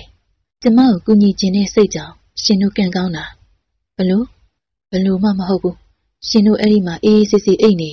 ရှင်တို့လွယ်လွယ်လေးဖမ်းဆီးတုံနှောင်ပြီးတော့ကျမလိုပဲချုံနှောင်ခြင်းခံရမှာငါတို့ကသူတို့ဘာမှမမလုပ်တာသူတို့မြင်ငါတို့လမ်းမလာကြတာသူတို့စီမှာတညတဲခိုတာမနဲ့ကြရင်ပြန်မယ်သူတို့ကလမ်းညွန်မယ်အဲ့ဒါပဲပေါ့ကိုပိုက်စိုးမငင်းနဲ့ဗျထမ်းရောင်ပြောတာဖြစ်နိုင်တယ်ကျွန်တော်တို့သခင်မထမ်းရောင်ရဲ့จิตတိတကောင်တက်ဖြတ်တယ်လေ တခင်မသူ့ရဲ့ကြက်တဲတက်ဖြတ်တဲ့သူအလူပေးမှာမဟုတ်ဘူးဆိုတာကိုပိုင်လေးကြားခဲ့ရပဲတခင်မကျွန်တော်တို့ကြက်တဲကောင်တက်မိတာသိမှာပဲကိုလင်းကလေသူ့နောက်လိုက်အမျိုးသမီးရတာဒီကိစ္စသူတူပဲသိတာသူကတော့ကျွန်တော်တို့ဖွင့်မပြောဘူးတားတယ်မို့လားရှင်တို့ကတခင်မရဲ့နောက်လိုက်အမျိုးသမီးနဲ့စုံခဲ့ပြီးပြီပေါ့ဟုတ်ပါတယ်ရှင်တို့တင်အတာပဲဘာလို့လဲရှင်တို့စဉ်းစားကြည့်နေအဲ့ဒီအမျိုးသမီးကတခင်မထမ်းရောက်ရဲ့နောက်လိုက်ဆိုတဲ့ကလူရင်းလေ ရှင်တို့ကသူကဒီတခါပဲတွေ့ဘူးလားပါစရာရှိသူ့ရဲ့တခင်မဘက်ကပဲပါမှာပေါ့ဘယ်မှမသိရဲ့ရှင်တို့ဘက်ကသူရက်တည်ရဲ့ဆိုဘယ်လိုဖြစ်နိုင်မှာလဲဒါလည်းဟုတ်တာပဲဒါဖြင့်ဘာလို့ငါတို့ကလိုက်ရှင်းပြမယ်ဆိုတာကိုဒီကိစ္စလုံးဝမပြောဘူးတားရတာလေသူ့တခင်မဘက်ကပိုင်ငါတို့သဘောနဲ့လိုက်ခင်မအောင်ဘာလို့တားရတာလဲပြီးတော့ငါတို့ကိုထားပြီးတော့ထွက်သွားတာဘာလို့လဲဒါရှင်တို့အပြစ်ပိုလေးအောင်လုပ်တဲ့သဘောပဲဘလို့ကြောက်လဲဒီနေမြသူတို့နေမြင်နေ သူတို့နေနေညညမျက်စိမိတ်သွားတတ်တယ်ရှင်တို့အချိန်မရွေးရှာနိုင်တယ်တခင်မထမ်းရောက်တခုကောင်းတာရှိတယ်သူကဝန်ခံရင်ငဲ့ညာတယ်ရှင်တို့ထားပြီးတော့ထွက်သွားတာသူ့တခင်မကိုလိန်ညာပြီးတော့ပြောမယ်จิตတိကောင်တက်ပြီးတော့ထွက်ပြေးကြတယ်ဒါကြောင့်သူ့တရားခံတို့သိထားပြီးလိုက်ဖမ်းပေးမယ်ပေါ့ဒီတော့သူ့တခင်မလိုအပ်တဲ့တရားခံဖမ်းနိုင်စုငွေတွေရမယ်လေအေးဒါများကွာငါတို့လိုက်လာမယ်ပြောတာပဲအချိုတက်ခေါ်လာပြီးသူ့တခင်မရှိရောက်မှ ငါတို့တင်းကျပ်လိုက်ဖမ်းခေါ်ရတာလို့ပြောရင်ရတာပဲမတူဘူးလေလွယ်လေးတကူဖမ်းနိုင်တဲ့တရားခံအတွက်တခင်မစုငွေပေးမယ်ဆိုရင်တော့အနေချင်းပဲပေးမှာထွက်ပြေးတဲ့တရားခံကိုဖမ်းနိုင်မှစုငွေအများကြီးပေးတဲ့ပြင်တရားခံဖမ်းပေးသူအတွက်အပူစုအနေနဲ့ပေးသေးတယ်ဘလို့မျိုးလေဒီတော့ထမ်းရောင်ကရှက်ပြုံးပြုံးပြီးသူ့နောက်လိုက်အမျိုးသမီးကရှင်တို့နှစ်ယောက်တည်းဟာတရားရောက်ကိုသဘောကျနေပုံရတယ်ဟင်မယုံရင်ရှင်တို့ဖမ်းခံကြည့်ပါလားလို့အောင်မပြေးနဲ့လေ ဟုတ်ပါပြီအဲ့ဒီကဘာဖြစ်မှလဲရှင်တို့ကတော့အရေးပြန်အကောင့်မမြင်မှလားတိတ်တိကျင်နေဆိုရင်လည်းပြောရတာပေါ့ရှင်တို့နှစ်ယောက်ထဲကတယောက်ကတော့သူ့ရဲ့ယောက်ျားဖြစ်ရမှာသိကြပြီပေါ့ဒီတော့မှကျွန်တော်သဘောပေါက်လို့ကိုလင်းကိုကြည့်ပြီးတော့ပြုံးပြတယ်ဘာပြုံးတာလဲကိုလင်းကအော်တော့တယ်ကိုလင်းကကျွန်တော်ထက်ပိုဖြောင့်နေဆိုတော့ဟုတ်မဟုတ်ထမ်းရအောင်မေးကြည့်ပြီးတော့ကျွန်တော်ပြောကြောင်းထမ်းရအောင်သဘောကျစွာရှိတော့တယ်ထမ်းရအောင်ကျွန်တော်အမှတ်တမဲ့ပြောမိခြင်းမလား ထမ်းရအောင်ရဲ့အတန်လွင်လွင်ရီမောတန်ကြောင့်သတိထားကြည့်တော့မှထမ်းရအောင်ကအင်မတန်ချစ်စရာကောင်းတဲ့မိန်းကလေးတစ်ယောက်ဆိုတာသိနိုင်ရတယ်ကဲပါဗျာလက်တလွန်ကီးလေးကိုလိုက်ရှာဖို့အရေးကြီးတယ်တွားစို့ကိုလင်းကပြောရင်ရှေ့ဆက်တောတိုးတယ်ကျွန်တော်နဲ့ထမ်းရအောင်လဲတယောက်မျက်နှာတယောက်ကြည့်ပြုံးပြီးကိုလင်းနောက်ကလိုက်သွားကြတယ်တန်ကြာရှောက်ခဲ့ပြီးတော့လေအစ်စ်မှာလူသားသူတန်တွေကြားရလို့သွားနေတဲ့ခြေလမ်းရက်ပြီးတော့နားဆွင့်နေရှီတကြောကလူတန်တွေပဲဒါဆိုကျွန်တော်တို့နောက်ပြန်လှည့်မလား သူတို့တန်ဒီဘက်ကိုလာနေတဲ့တန်တော့မဟုတ်ဘူးဘယ်လိုဖြစ်နိုင်မှာလဲထမ်းရောင်ကဒီကြောရှိဆိုတော့ဒီဘက်ကိုပဲဥတီလာနေတာဖြစ်မယ်ကျမပြောတာယုံပါကျမအမောင်ထဲမှာကြည်နောင်ခံရတာကြပြီဒီတော့အချမ်းအာယုံပဲအားပြုနေရတာရှင်တို့မကြားနိုင်တဲ့ခဝေးဝေးရတန်ကိုကျမကြားနိုင်တယ်ရက်နေတဲ့အတန်လားရွေရှားတဲ့အတန်လားဆိုတာခွဲခြားတတ်တယ်ကောင်းပြီလေကျွန်တော်တို့ရှေ့ဆက်လျှောက်ခဲ့တယ်စကားတန်တွေတဖြည်းဖြည်းကျင်းလောင်စွာကြားရလို့ရှေ့ဆက်လျှောက်နေတာကျွန်တော်သဘောမတွေ့တော့စိတ်ထဲမှာလည်း အဲ့ဒီလူစုနဲ့ပက်ပင်းတူးမေးလို့ထင်နေမိတယ်ကိုလင်း तू ပြောတာဖြစ်နိုင်ပါမလားကိုပိုက်ရေစိုးရင်တက်ရင်ကောပပင်းတိုးတော့လေတိုးတယ်လျောက်ပေါ့ဒီလောက်မှောက်နေတာတမီးထိုးလို့လည်းဖြစ်တာမဟုတ်ဘူးဒီတော့သူမကိုပဲအားကိုယုံကြည်ပြီးသွားကြတာပေါ့ရှောက်ခဲ့ရင်လည်းနားဆွင့်နေရကနေရုတ်တရက်အတန်တွေပြောက်သွားတယ်ကိုလင်းတောချောက်တာမလားလားဘယ်ကတာဟုတ်ရမှာလဲသူတို့တွေရှေ့ကတောင်ကျောအောက်ကိုဆင်းသွားတာမင်းဒီနာသွားလာဘူးလို့လားပြောပြီးပြီမို့လား ကျမနားအာယုခံစားပြီးတော့ပြောကြည့်တာအေးလေသက်လျှောက်ခဲ့တော့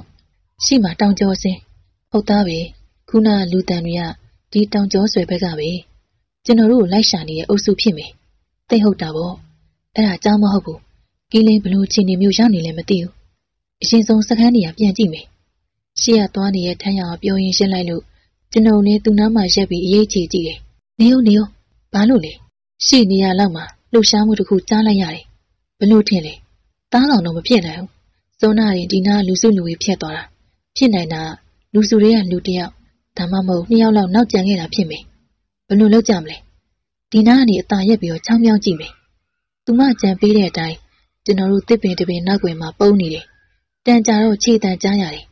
ကျွန်တော်အရေးကြုံရင်လက်ဦးမှုရစီကိုပြစ်ခတ်ဖို့အသင့်ကင်ထားတယ်ဟောအရေးတရံတွေ့ရပြီဒီတရံကြည့်ရတာတမယိုးချရှောက်ဟန်မဟုတ်ဘူး ရှေ့ကိုချောင်းမြောင်းရှောက်နေတာတစားတစားတဲတဲကွဲကွဲမြင်ရတော့ဟင်ကီးလိန်ကီးလိန်ဖြစ်နေရောတယ်ကျွန်တော်ပုံးကွယ်နေရကနေကီးလင်းကိုလှမ်းဆွဲပြီးတစ်ပင်နောက်ခေါ်လာတယ်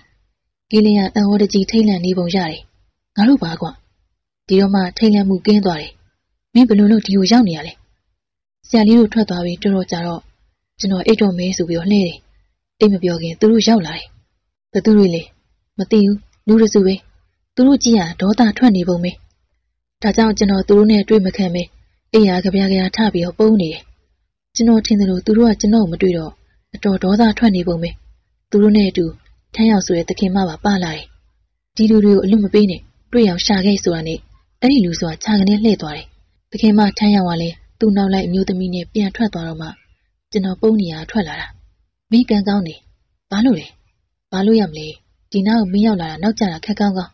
မင်းရှိလေးတယ်လူတွေစုကဖြတ်သွားတယ်ကျွန်တော်သိတာပေါ့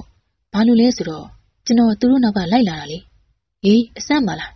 သူတို့မင်းကိုတွေ့သွားရင်တတ်တာမှမဟုတ်ဘူးတဏှာကိုလွတ်အောင်ပြေးပုံအဲ့ဆိုဆရာလေးတို့နဲ့ဘဲဆုံးမလဲမင်းစကားအဆန့်ပါလားဒီနိုးဆရာလေးရဲ့သူတို့ကကျွန်တော်တို့ကိုလိုက်ရှာနေတယ်မို့လားအေးလေဒီတော့သူတို့ရှာရဲ့အဲမှာကျွန်တော်ကသူတို့နောက်မှာရှိနေတော့သူတို့ရှာတွေ့ချင်းတွေ့ရင်ဆရာလေးတို့နှစ်ယောက်ကိုပဲတွေ့မှလေ ဒါကြောင့်သူတို့နောက်လိုက်ခြင်းကပိုကောင်းမယ်လို့တွေးမိတာဆရာလေးတို့သူတို့ဖမ်းရင်ကျွန်တော်ကယ်လို့ရတယ်လေချင်းလူလယ်လေးပါလားမင်းသိတော်တယ်သူဘယ်သူလဲကြည်စမ်းကိုလင်းကကင်းလေးပခုံးကိုပုတ်ပြီးသူ့နောက်ဖက်မှာရှိရဲ့ထမ်းရောက်မင်းငုံပြတော့ကင်းလေးတယောက်ကျွန်တော်တို့နှစ်ယောက်ပြင်လူပိုတယောက်ရှိနေမှတည်သွားပုံပဲ။မောင်ရိပ်ကြနေတဲ့သူမမျက်နှာကိုတေချာကြည့်မနေပဲ။ဟင်ထမ်းရောက်အားရဝမ်းသာခေါ်လိုက်တော့တယ်။ဒါဆိုရင်ကျွန်တော်တို့နဲ့ရှိနေတဲ့သူဟာရွတ်တုတ်ရွာသူ ထမ်းရောက်တေးချနေပြီ။ညဘလို့ဖြစ်ရတာလဲထမ်း။ဆရာလေးသူနဲ့ဘလို့စုံတာလဲ။သူဘလို့တွေဖြစ်ခဲ့လဲဆိုတော့ငါတို့မပြောသေးဘူး။အရေးကြီးမင်းကိုလိုက်ရှာနေတာ။ဟုတ်လား။ကဲထမ်းရောက်ငါတို့ဘလို့ဆက်လုပ်တင်လဲ။ကျွန်တော်ကမေးတော့ညာကြီးမင်းကြီးပဲသွားတာကောင်းမယ်ဘယ်သွားမှလဲမနာဘူးလားအရေးကြီးတာကျမတို့သူတို့နေမရလွတ်မြောက်ဖို့ပဲဒီတော့ညာကြီးမင်းသွားမှဖြစ်မယ်မနဲ့မှသွားရင်စိတ်မပြေဘူးမင်းကဘယ်ကိုသွားမှလဲဒီနေရာကိုသိလို့လား ညမောင်မောင်ဆိုတော့ဘယ်နေရာရောက်နေမှမသိဘူးဒါပေမဲ့ချောင်းတစ်ခုခုတွေရောက်သွားရင်တော့ဘယ်နေရာဆိုတာသိရမယ်ဒီတော့မှဆက်သွားရင်အဆင်ပြေမယ်လွဲပါတယ်ဥမာမြောင်လေးအဲ့ဒီမြောင်တိုင်းစုံစင်းမယ်မြောင်လေးဆုံးရင်မြောင်ကြီးရောက်မှာပေါ့မြောင်ကြီးကိုစုံပြီးတော့ဆင်းသွားအောင်စုံးရင်ချောင်းကိုရောက်မယ်။ချောင်းလေးအတိုင်းစုံစင်းသွားရင်ချောင်းယူရောက်ပြီပေါ့။ကျွန်တော်ပြောတော့သူမကပြုံးပြီးသဘောတရားရတော့ဟုတ်ပါတယ်။အဲ့ဒီတိုင်းသွားရင်မြောင်ရှိဖြစ်နေမူးလင်းတာတော့ချောင်းမယူရောက်မှာမဟုတ်ဘူး။ ကန်ဆိုရင်မြောင်ချက်ထဲမှာပူလူစုနဲ့ပြန်ဆုံနေမှာ။ငါလည်းဖြစ်နိုင်ကြပြောတာပါ။ဒါတော့ဒါပေါ့ရှင်။ချောင်းမြောင်တိုင်းသွားမှာတော့ဘေးဟုတ်မလဲ။အခြေအနေကြည့်ပြီးတော့တောင်ကျောတွေကိုဖျက်ပြီးသွားရမှာပေါ့။ပေါင်းနဲ့မင်းမင်းလွဲပါမလား။လွဲပါတယ်ချောင်းဆိုရင်တော့ရေစည်းတော့ရှိနေမှာရေစည်းတန်နားဆွင့်ရမှာပေါ့ဗျာဒီတော့ကိုလင်းကကျွန်တော်နားကပ်ပြီးသူကကျွန်တော်တို့ထက်နားကြားအာရုံပိုကောင်းပုံရတယ် သူပြောတာကိုလက်ခံလိုက်ပါဒါကြောင့်ကျွန်တော်လည်းဘာမှမပြောတော့ပဲ နှုတ်ဆက်နေတော့တယ်ကဲလာလာကျမနောက်ကလိုက်ခဲ့ကြကျွန်တော်တို့သူမနောက်ကလိုက်သွားကြတယ်ကီးလေးနဲ့ထမ်းရအောင်ကျွန်တော်တို့နားမလည်တဲ့ချင်းပါသားစကားနဲ့စကားတူတူပြောရင်းတော်တူနေကြတော့တယ်ဒီလိုနဲ့ကျွန်တော်တို့ကံအားလျော်စွာချောင်းတစ်ခုကိုရောက်လာကြတယ်။ဒါဘာချောင်းဖြစ်နိုင်မလဲ။ဖန်းလောင်းချောင်းတော့မဖြစ်နိုင်ဘူး။ဖန်းလောင်းရေကြတော့ဖြစ်နိုင်တယ်။ဒါဖြင့်ငါတို့တွေဘာဆက်လုပ်ကြမလဲ။ဆက်သွားမလားနားမလား။ရှင်အိတ်ချင်နေပြီထင်တယ်။ကောင်းပြီလေ။ ကျမတို့ချောင်းရိုးတိုင်းစုံစင်းပြီးတော့ခြေခင်းလက်ခင်းတာတဲ့ချောင်းကန်းတွေ့ရင်နားကြတာပေါ့။ဒီလိုနဲ့ကျွန်တော်တို့ချောင်းတိုင်းစုံစင်းရာကနေချောင်းခွေတစ်ခုအရောက်မှာအုံဆိုင်ဆိုင်တောင်ကျောဆွေတစ်ခုမှစကန်းချဖို့ဆုံးဖြတ်လိုက်ကြတယ်။ကျွန်တော်ကမိဘုံဖိုးဖို့ပြင်တော့ဘာလုပ်ဖို့လဲမိဘုံလုပ်မယ်လေရှင်ကို့သေးရင်းကိုတူးမလို့လားဘာလို့လဲဗျခက်ပြီးရောကျမတို့ပျော်ခီးထွက်လာတာမဟုတ်ဘူးလေရန်သူလက်ကပြေးနေကြရတာဟုတ်ပါရဲ့မိဖို့လူပဲဖြစ်ပါမလဲအေးဗျာ ကျွန်တော်တတိလစ်သွားတယ်ကိုပိုင်အိတ်ချင်အိတ်လေကျွန်တော်တော့ထမ်းရောက်ပြောတာသိကျင်သေးတယ်ဒါဖြင့်ကျွန်တော်လည်းမအိတ်တော့ပါဘူးရှင်အိတ်ချင်ပြီဆိုအိတ်နေမအိတ်တော့ပါဘူးကဲညီငါတို့ပြောကြရှိရပြီပြောကြည့်တော့သိကျင်တဲ့မိကုန်းရှိမှမေးမယ်ဒီတော့သူမကီးလင်းပဲလှည့်ပြီးချင်းလို့ပြောတယ်။ဘာပြောတာကိုကျွန်တော်တို့နားမလည်ဘူး။ဒီတော့ကီးလင်းကသဘောပေါက်စွာနဲ့ဘာမှပြောတာမဟုတ်ပါဘူး။ထမ်းရောင်ကပြောတယ်။ကျွန်တော်နဲ့အတော်ရင်းနှီးလားစိတ်ချရရဲ့လားလို့မေးတာ။ အေးလေမင်းကငါတို့ဘလို့လူစားလဲဆိုတာမြင်မြင်ပြောလိုက်ပါလားကွာ။ဒီတော့ထမ်းရောင်ကပြုံးပြီးကြည်နာပြီးကင်းလေးကပြောပါတယ်ကျမတို့တမျိုးမထင်ပါနဲ့ရှင်ကျမနနောက်သွားပြင်ဘလို့ဖြစ်ရတယ်ဆိုတာပြောပြပါမယ်ပြီးရင်သာကျမစံသားတစ်ခုဖြည့်ပေးကြပါပြောပါဘာခက်ခဲနဲ့ရင်ဆိုင်နေရတာလဲကျွန်တော်တို့တက်နိုင်ဆုံးလုပ်ပေးပါမယ်ကျမပြောချင်ရှိတာတွေမချင်းမချန်ပြောပြပါမယ်ပြီးတော့မှသာကျမတောင်းခံတဲ့အကူအညီကိုပြောမယ်လေကောင်းပါပြီ ထမ်းရောင်ကကင်းလေးဘက်ကိုချင်းလို့လှည့်ပြောပြန်တယ်ခဏနေတော့ကင်းလေးကနေရာကနေထသွားတယ်သူပေသွားတာလေရှင်တို့အတွက်စားစရာသွားရှာတာမင်းခိုင်းလိုက်တာမို့လားဟုတ်တယ်မလိုပါဘူးကွာညာကြီးမီးသားကောင်ရှာရဲဆိုမလွယ်ဘူးသားကောင်မဟုတ်ပါဘူးငါသွားရှာခိုင်းတာငါရှိတဲ့နေရာကျမတွေ့ခဲ့တယ်အဲ့ဒီနေရာကိုညွှန်လိုက်တယ်လေထမ်းရောင်ကိုကျွန်တော်တို့ရှော့တွက်လို့မရပါလားမုတ်ဆိုးကောင်တယောက်ပါလားမင်းပြောစရာရှိရပြောတော့လေကင်းလေးကပြောသွားတယ် သူလည်းသိကျင်နေတဲ့ဒါဖြင့်လေစောင့်မကွာသူမလာခင်ကတမေးလောက်မေးလိုက်အောင်မယ်ကျွန်တော်တစ်ပင်မှာကြောမီနေတဲ့အချိန်မှာပဲကျွန်တော်ရောက်ပါပြီဗျတန်နဲ့အတူကင်းလင်းပြန်ရောက်လာတယ်ငါးကောင်ချိုပါလာတယ်မိဖို့မရတော့ဘလို့စားမလဲဒီတော့ထမ်းရောင်ကညောင်ငုတ်ပင်တပင်အောက်သွားပြီးအရင်အောက်ခြေမြေသားတွေကိုတူးတယ်မြေပွားဖြစ်လို့ခဏလေးနဲ့ဂလိုင်ဖြစ်သွားတယ်ဂလိုင်တွင်ထင်းကြောက်တွေထည့်ပြီးမိမွေးတယ်ကျွန်တော်သဘောပေါက်သွားပြီဒီလိုဆိုရင်ထင်းမီကိုအဝေးကတော်ရုံမြင်ရမှာမဟုတ်ဘူး ငါးကောင်လေးတွေกินဖို့အတွက်ထင်းမီသေးသေးဆိုရင်ရပြီငါးကောင်တွေမိခင်နေတဲ့ချိန်ထမ်းရောင်ကသူ့အကြောင်းကြီးပြောပြလာတော့တယ်။လုံရှုပွဲတော်အတွက်နနောက်ပြစ်ဖို့ထမ်းရောင်တို့အဖွဲ့တွေမနဲ့ဝီလီဝီလင်းမှာရွာနေထွက်လာခဲ့ကြတယ်။နင်းရလေတရက်တလေနားပြီးမှသွားတာမဟုတ်ဘူး။လိန်ဘူးကမကြည်မနဲ့ပြောလာတယ်။ဟဲ့နင်ကကို့ရွာအတွက်အဲ့လောက်တောင်ပြင်မမခံချင်ဘူးလား။လုံရှုပွဲကနီးပြီလေ။နနောက်တွေဆိုတော့ငါတို့မွေးထားတာမဟုတ်ဘူးလေ။ အချိန်ပေးပြီးတော့တောတောင်နဲ့ရှာပြစ်ရမှာ။ဒီနေ့ကိုငါတို့လာပြစ်မယ်။နင်တို့နနောက်တွေစောင့်နေကြည့်လို့ပြောထားလို့မှမရတာငါတို့သွားရမယ်လာရမယ်နနောက်တွေကိုရှာရမယ်ပြည့်ရမယ်ချိန်ဘယ်လောက်ကြာမလဲမသိဘူးအရေးကြီးတာကငါတို့တွေလုံရှုပွဲအတွက်နနောက်တကောင်ရဖို့အရေးကြီးတယ်အချိန်မီဖို့လဲလိုတယ်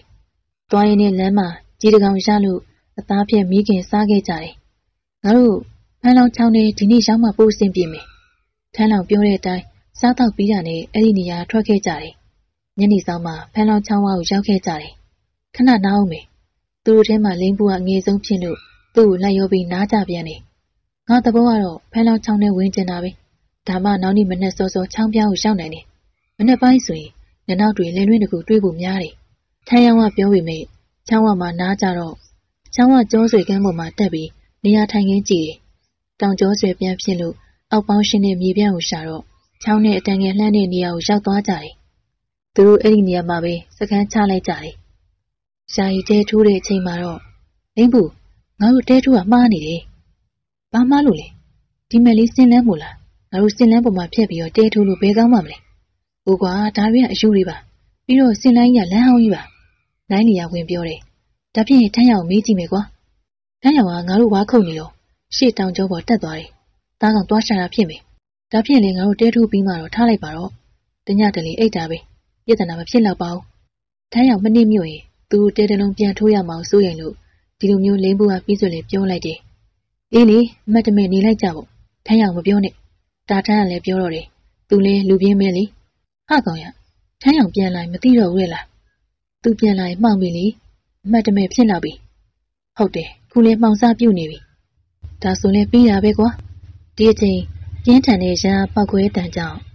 ထမ်းရအောင်တော့သားကောင်တကောင်ရပြီထင်တယ်။ သူတို့ထင်ထားတယ်လို့ပဲမှောင်စချိန်မှာထမ်းရောက်ပြန်ရောက်လာတယ်။တောကြောင်တကောင်ပါလာတယ်။ဒီနောက်ထမ်းရောက်ကတေးပေါ်မှာသွားပြီးတော့ခဏလှဲနေတယ်။သူတို့တော့ရောက်တောကြောင်သားဖြတ်ပြီးတော့တဆူထူးမိခင်နေကြတယ်။ခဏနေထမ်းရောက်ဆင်းလာပြီးတနေရာကိုလှမ်းကြည့်ပြီးတော့နင်ဒါဘာပါလဲ။ဒါစင်ကြီးတော့မလား။ကြည်စမ်းဒါစင်လန်းပဲ။ငါတို့စင်လန်းပေါ်မှာစကန်းချနေမိတာ။ဒီနောက်ထမ်းရောက်ကနိုင်လေနင်ကဒီထဲမှာအကြီးဆုံးဒါလေးတော့မသိဘူးလား။ ငါလည်းအမှတ်တမဲ့ဖြစ်သွားလို့ပါ။သူကဒီလိုပြောပေမဲ့ထမ်းရောက်သူတို့သုံးယောက်လုံးတစိတ်သေးတညံနေစွာရိပ်မိလို့ဘာမှမပြောတော့ဘူးစိတ်ဝမ်းမကွဲကျင်လို့တညတလေပဲရှိပါစီတော့ဆိုပြီးထားလိုက်တော့တယ်ဒီနောက်ကြောင်သားမိခင်စားနေကြတဲ့ချိန်ခလန်းလန်းတောင်ကျောဘက်ကနေစူညံတဲ့တန်တွေကြားလို့နားဆွင့်မိတယ်။ဘာတန်တွေလဲ။ကြောက်စရာတန်တွေပါလား။လိမ့်ဘူး။မင်းကယောက်ျားမဟုတ်တဲ့အတိုင်းပဲ။ဒါတော့နိုင်ကြားနေကြပဲ။တောချောက်တာတွေပေါ့။ဘာကြောက်စရာလို့လဲ။စားပြီးရင်သွားနာကြမယ်။ မနေ့စောစောဒီရထွက်မယ်။သူမလိမ့်ဖို့ဒီလိုပဲပြောလိုက်ပြီးမြဲသူမအတွက်စိုးရိမ်စရာဖြစ်နေတယ်။တောချောက်တန်မဟုတ်တာသူမကောင်းကောင်းသိတယ်။ဒီနောက်အကုန်လုံးတေးပေါ်တက်ပြီးလင်းလျောင်းကြတယ်။ထမ်းရောင်စကန်းပြောင်းရင်ကောင်းမလားစဉ်းစားနေမိတယ်။ဒါပေမဲ့သူတို့သုံးယောက်ကိုငှဲ့ပြီးဒီအစီအစဉ်ကိုမေးဖြောက်ထားတယ်။ထမ်းရောင်တဲပေါ်မှာလှည့်နေရင်ညလုံးဖွင့်နားဆွင့်နေတယ်။ငှက်ဆိုးတကောင်သူတို့တဲပေါ်ကဖြက်ပြန်တန်းသွားတော့ထမ်းရောင်အလွန်မြင့်လက်ဖြတ်သွားမိတယ်။သူမစိတ်တွေလေးလံလာပြီ။ ဘာလို့ရမလဲစဉ်းစားနေမိတယ်။တန်ကြာတဲ့နောက်တာထန်းတို့သုံးယောက်လုံးနှိုးပြီးတော့ငါတို့စကန်းပြောင်းမှဖြစ်တော်မယ်။ညာအီမီအချိန်မှမရှိတာ။ဘာလို့လဲ။ဒီတော့မှသူမကြားရတဲ့တန်တော၆တန်မဟုတ်မှန်းတောစင်ရိုင်းတွေရုံရင်းဆန်ကပ်ဖြစ်ပြီးပြင်းလွှားတန်တွေဖြစ်ကြောင်းဆောက်ဆိုကငှက်ဆိုးတကောင်တဲပေါ်ကဖြက်ပြန်သွားကြောင်း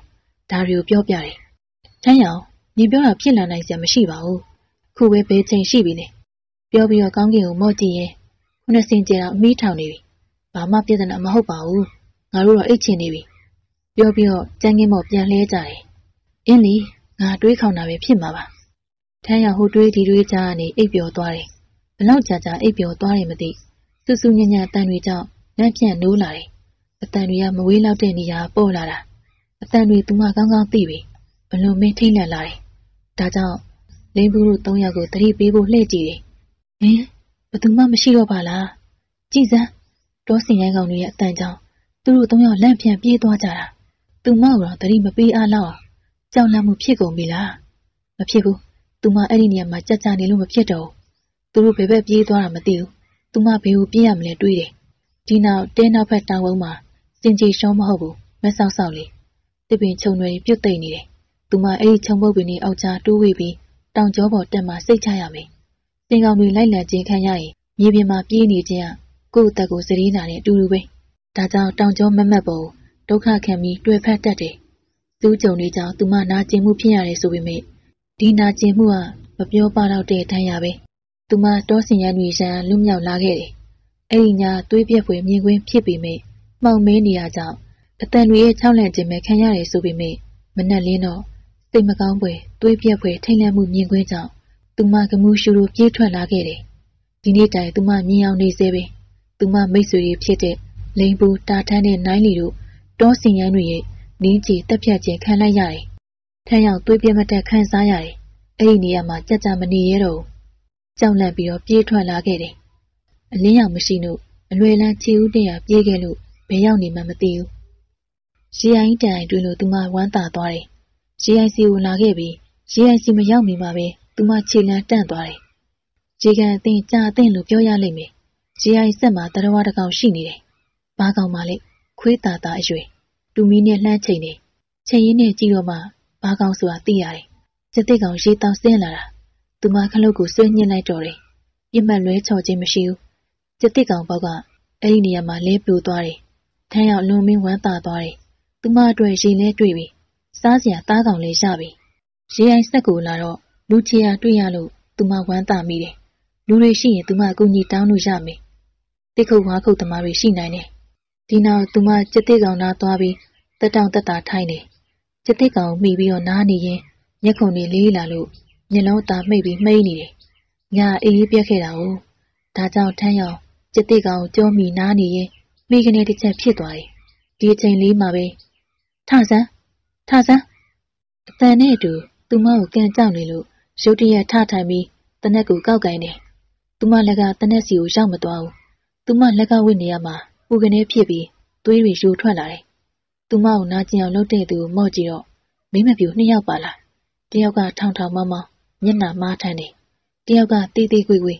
ထောင်ထောင်မမအမျိုးသမီးကြည့်ရတာဥဆောင်သူဖြစ်ပြီးတော့ကျုံတွေရဲ့မိန်းကလေးကသူမရဲ့နောက်လိုက်ဖြစ်မယ်။မင်းဘသူလဲ။ဘယ်ရလဲ။ဒီကြက်တစ်ကောင်မင်းတက်လိုက်တာလား။မာရီကျောင်းရည်နိုင်လွန်းနေ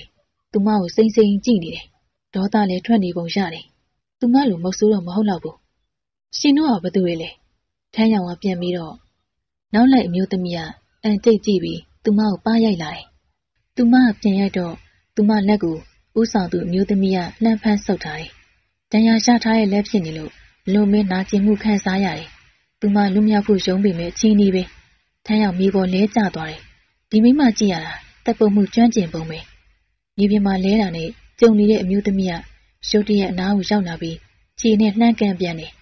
နေမို့လို့တခင်မောက်ပြန်လုပ်ဖို့စဉ်းစားတယ်ပြန်မေးခွန်းထုတ်ဖို့ကြိုးစားတယ်နင်ဒီလောက်ဆိုရင်သဘောပေါက်သိပြီကဲတခင်မမေးသမျှမှတ်မှတ်ဖြစ်ဒီတော့ထမ်းရောက်လဲသဘောပေါက်သွားပြီသူမပြန်တုံ့ပြန်မှုအဆင်မပြေဘူးဒီတသက်ကောင်နင်တတ်တာလားဟုတ်တယ်သူမပြောတော့ဥဆောင်သူအမျိုးသမီးကမျက်နှာကိုရှုံမဲ့တာကြောင့်ဘာလဲမရှုံဘူးလားရှုံတာမယုံတာထား ကျက်တစ်ကောင်တတ်တဲ့သူဘသူလဲဆိုတာသိဖို့ပဲငါလို့တယ်ဘာလို့ဖို့လဲသူမမေးတော့သူမပါအောင်မပြောမဆိုရိုက်ပြန်တယ်ဘာလို့ကျက်တစ်ကိုတတ်ရတာလဲမဟုတ်ဆိုးပဲတားကောင်တွေ့ရင်ပြစ်တာပဲအဲ့ဒါကနေ့အမရှင်တခင်မသူ့ရဲ့ကျက်တစ်ကောင်တေးရလို့တိတ်ဒေါသထွက်နေတယ်နေပါဦးဒီကျက်တစ်ကောင်ကရှင်ရဲ့ကျက်တစ်လားဟုတ်တယ်ရင်ရတယ်ကျက်တစ်ကောင်သူ့ကောင်ဆိုပါလားထမ်းရောင်ကပြောတော့နောက်လိုက်အမျိုးသမီးက ဥဆောင်အမျိုးသမီးမျက်နှာကိုကြည့်တယ်ဥဆောင်အမျိုးသမီးကခေါင်းငိမ့်ပြတယ်ဘာတွေပါလဲဒီတော့နောက်လိုက်အမျိုးသမီးကရွှေကနဲ့လက်ခောက်မှုတ်တော့ဘေးရမမသိရဲ့ကျက်တစ်ကောင်ကသူ့နားကိုရောက်လာတယ်ဒါသူနဲ့မောင်နှမတော်တယ်ဟင်ဥဆောင်မျိုးသမီးကပြောတာကြောင့်ရောက်လာတဲ့ကျက်တစ်ကောင်ကိုကြည့်တယ်သူမတတ်ထားတဲ့ကျက်တစ်ကောင်ကိုကြည့်တယ်အယောင်သွေးရတပုံစံနေပဲသူ့ကိုငါတို့နေအောင်ခေါ်ခဲ့ကျက်တစ်မကိုလည်းယူခဲ့ဖိုးရောက်မှကောင်းကောင်းမွန်မွန်တကြိုလိုက် ပြောပြီးတော့ဥဆောင်မျိုးသမီးကခြာကနေလှည့်သွားတယ်မင်းလိုက်ခဲ့ထမ်းရောက်စဉ်းစားတယ်သူဘယ်သွားရမှမသိဖြစ်နေလို့လက်တလောသူတို့ခေါ်ရလိုက်သွားတာအကောင်းဆုံးဖြစ်မယ်လို့တွက်ပြီးကျုံလီရဲ့အမျိုးသမီးနောက်ကလိုက်သွားတော့တယ်အေးအေးဆေးဆေးမှသူတို့အဖြစ်မှန်ပြောပြပြန်လန်းမေးရမယ်ဒီလိုနဲ့သူတို့လူနေတဲရဲ့အစီရည်ရှိတဲ့တောင်ကျောကိုရောက်လာကြတယ်ဒီနေရာမျိုးဒီတောထဲမှာရှိတာခုမှသိတော့တယ်တဲစုအိမ်တွင်ရလူတွေကဥဆောင်မျိုးသမီးကိုမြင်တာနဲ့ခါရဝပြုတ်ကြတယ် ဒီမိမဘလို့မိမစားပါလိမ့်ဥဆောင်မျိုးသမီးနောက်ကပါလာတဲ့သူနဲ့နောက်လိုက်မျိုးသမီးကိုလည်းအဲ့ဒီလူစုဟာအံ့ဩတကြီးကြည်နေကြတယ်ဒါပေမဲ့သူတို့အကြည့်ကကျက်တဲ့တွေကိုပဲကြည်နေကြတာခြေတန်းရှိတဲအိမ်တစ်လုံးကိုရှောက်တော့တဲအောင်မှာကျက်တဲ့တွေကိုပြစ်ထားတယ်ဥဆောင်မျိုးသမီးကလေကားရှည်ပေါ်တက်သွားတယ်နေခဏနေအောင်ငါတခင်မှာဘာပြောမလဲသွားမေးဦးမယ်တန်ကြာသူမပြန်ဆင်းလာတယ်လာညီဒီကောင်မြေမြုပ်ဖို့လို့အသားစားဖို့ပြစ်တာ ခုတော့မြေမြုပ်ရတော့မေးရှင်ကျက်တိကောင်သားစားကောင်းနေဆိုမသိဘူးလားဒီလိုပြောတော့ထန်းရောက်ပါရိုက်ခံရပြန်တယ်ပြန်လို့ဖို့ထန်းရထားတော့ထန်းရောက်ထားလို့မရဘူးလက်ကျသူမပခုံးနှစ်ဖက်ကိုဖိနှိပ်ချခြင်းခံရတယ်မိငိမ့်ငိမ့်နေခြင်းကအသက်ရှိစရာအကြောင်းပဲသူမနောက်ကိုလှည့်ကြည့်တော့မျိုးသားတယောက်ပါလားဥဆောင်မျိုးသမီးနဲ့မျက်နှာပေါက်ချင်းတူတယ်ထွေထူးစဉ်းစားမနေနဲ့သူနဲ့ငါမောင်နှမတော်တယ်ငါအကြီးပြောပြီးတော့ပြုံးပြလာတယ်ဒီလိုမျက်နာတော့ချိုးတယ် ဒါကြောင့်ထမ်းရောက်လဲပြန်ပြုံးပြတယ်သူ့နောက်မှာခွေးတကောင်ရှိတယ်ကဲမင်းသူပြောသလိုလုပ်လိုက်ပြောပြီးတော့အဲ့ဒီလိုလှည့်ထွက်သွားတော့တယ်အဲ့ဒါသခင်မရဲ့အကူပဲသူ့နောက်လိုက်သွားတဲ့ခွေးလေးကသူ့အချစ်ဆုံးပဲငါတို့သခင်မမှာကျစ်တင်မောင်နှမတစုံရှိတယ်သူ့အကူမှလည်းခွေးညီကိုနှစ်ကောင်ရှိတယ်တကောင်နဲ့တွေ့ပါတယ်မနစ်ကသေသွားပြီသူ့ခွေးသေတယ်လို့ခွေးတက်တဲ့သူလည်းသေသွားတယ်ဘာလို့လဲသူ့ခွေးတက်မိတဲ့သူသူကတက်လိုက်တာ လူဟုတ်လားဟုတ်တယ်ရစ်ဆက်လိုက်တာလုံရဲလိုက်တာခွေးထက်ပဲလူကတန်ဖိုးနှိမ့်ကြနေပါလားဒါမတရားဘူးဒါတော့မှ तू ကကျေနပ်တာမဟုတ်ဘူးတမျိုးလုံးတဆွေလုံးကိုတတ်ချင်တာဟိုလူကတကောင်ကြွက်ဖြစ်နေလို့သူမပြောကြောင်းထမ်းရောက်ကြက်သိန်းငွေညင်းထားမိတယ်သူတို့မောင်နှမသူတို့ငွေထားတဲ့တရိษံကိုတိတ်ချက်တာသူတို့ကောင်လူသွားမထိနဲ့နောက်လိုက်အမျိုးသမီးကပြောတော့ထမ်းရောက်ပြုံးမိတယ်ရှင်ပြုံးနိုင်တာဒါနောက်ဆုံးချိန်ပဲဖြစ်မယ် ပြောပြီးတော့ကြက်တိကောင်ဆွဲသွားသလိုထမ်းရောက်လည်းပေါက်တူးတလက်ယူစီပြီးသူ့နောက်လိုက်ခဲ့စီတယ်ဒီလိုနဲ့အဲ့ဒီနေ့မှာထမ်းရောက်နဲ့သူမကျတိတီကိုကောင်းမွန်စွာတကြိုလိုက်ကြတယ်။ကျမဗိုက်စားတယ်။မြို့ကအကောင်းဆုံးအကြံပေးမယ်။လက်တလောဘာမှမစားဘဲအစာခံနေတာအသက်ရှိစရာအကြောင်းရှိနိုင်တယ်။ရှင်းအောင်ပြောပါဦး။ငါတို့တခင်မတေကန်ဒီလူတယောက်ကိုအစာဝဝလင်းလင်းကြွေးပြီးမှတတ်တာများတယ်။အစာလုံးဝမရှိတဲ့သူဘယ်တော့မှမတတ်ဘူး။ဒီတော့ နင်းသဘောပေါက်လွှဲတဲ့နေလက်တလောအစာမစားဘဲနားနေနင်းအတွက်အကျိုးရှိနိုင်မယ်။ပြောပြီးတဲ့နောက်အမျိုးသမီးခြာကနေလှည့်သွားတယ်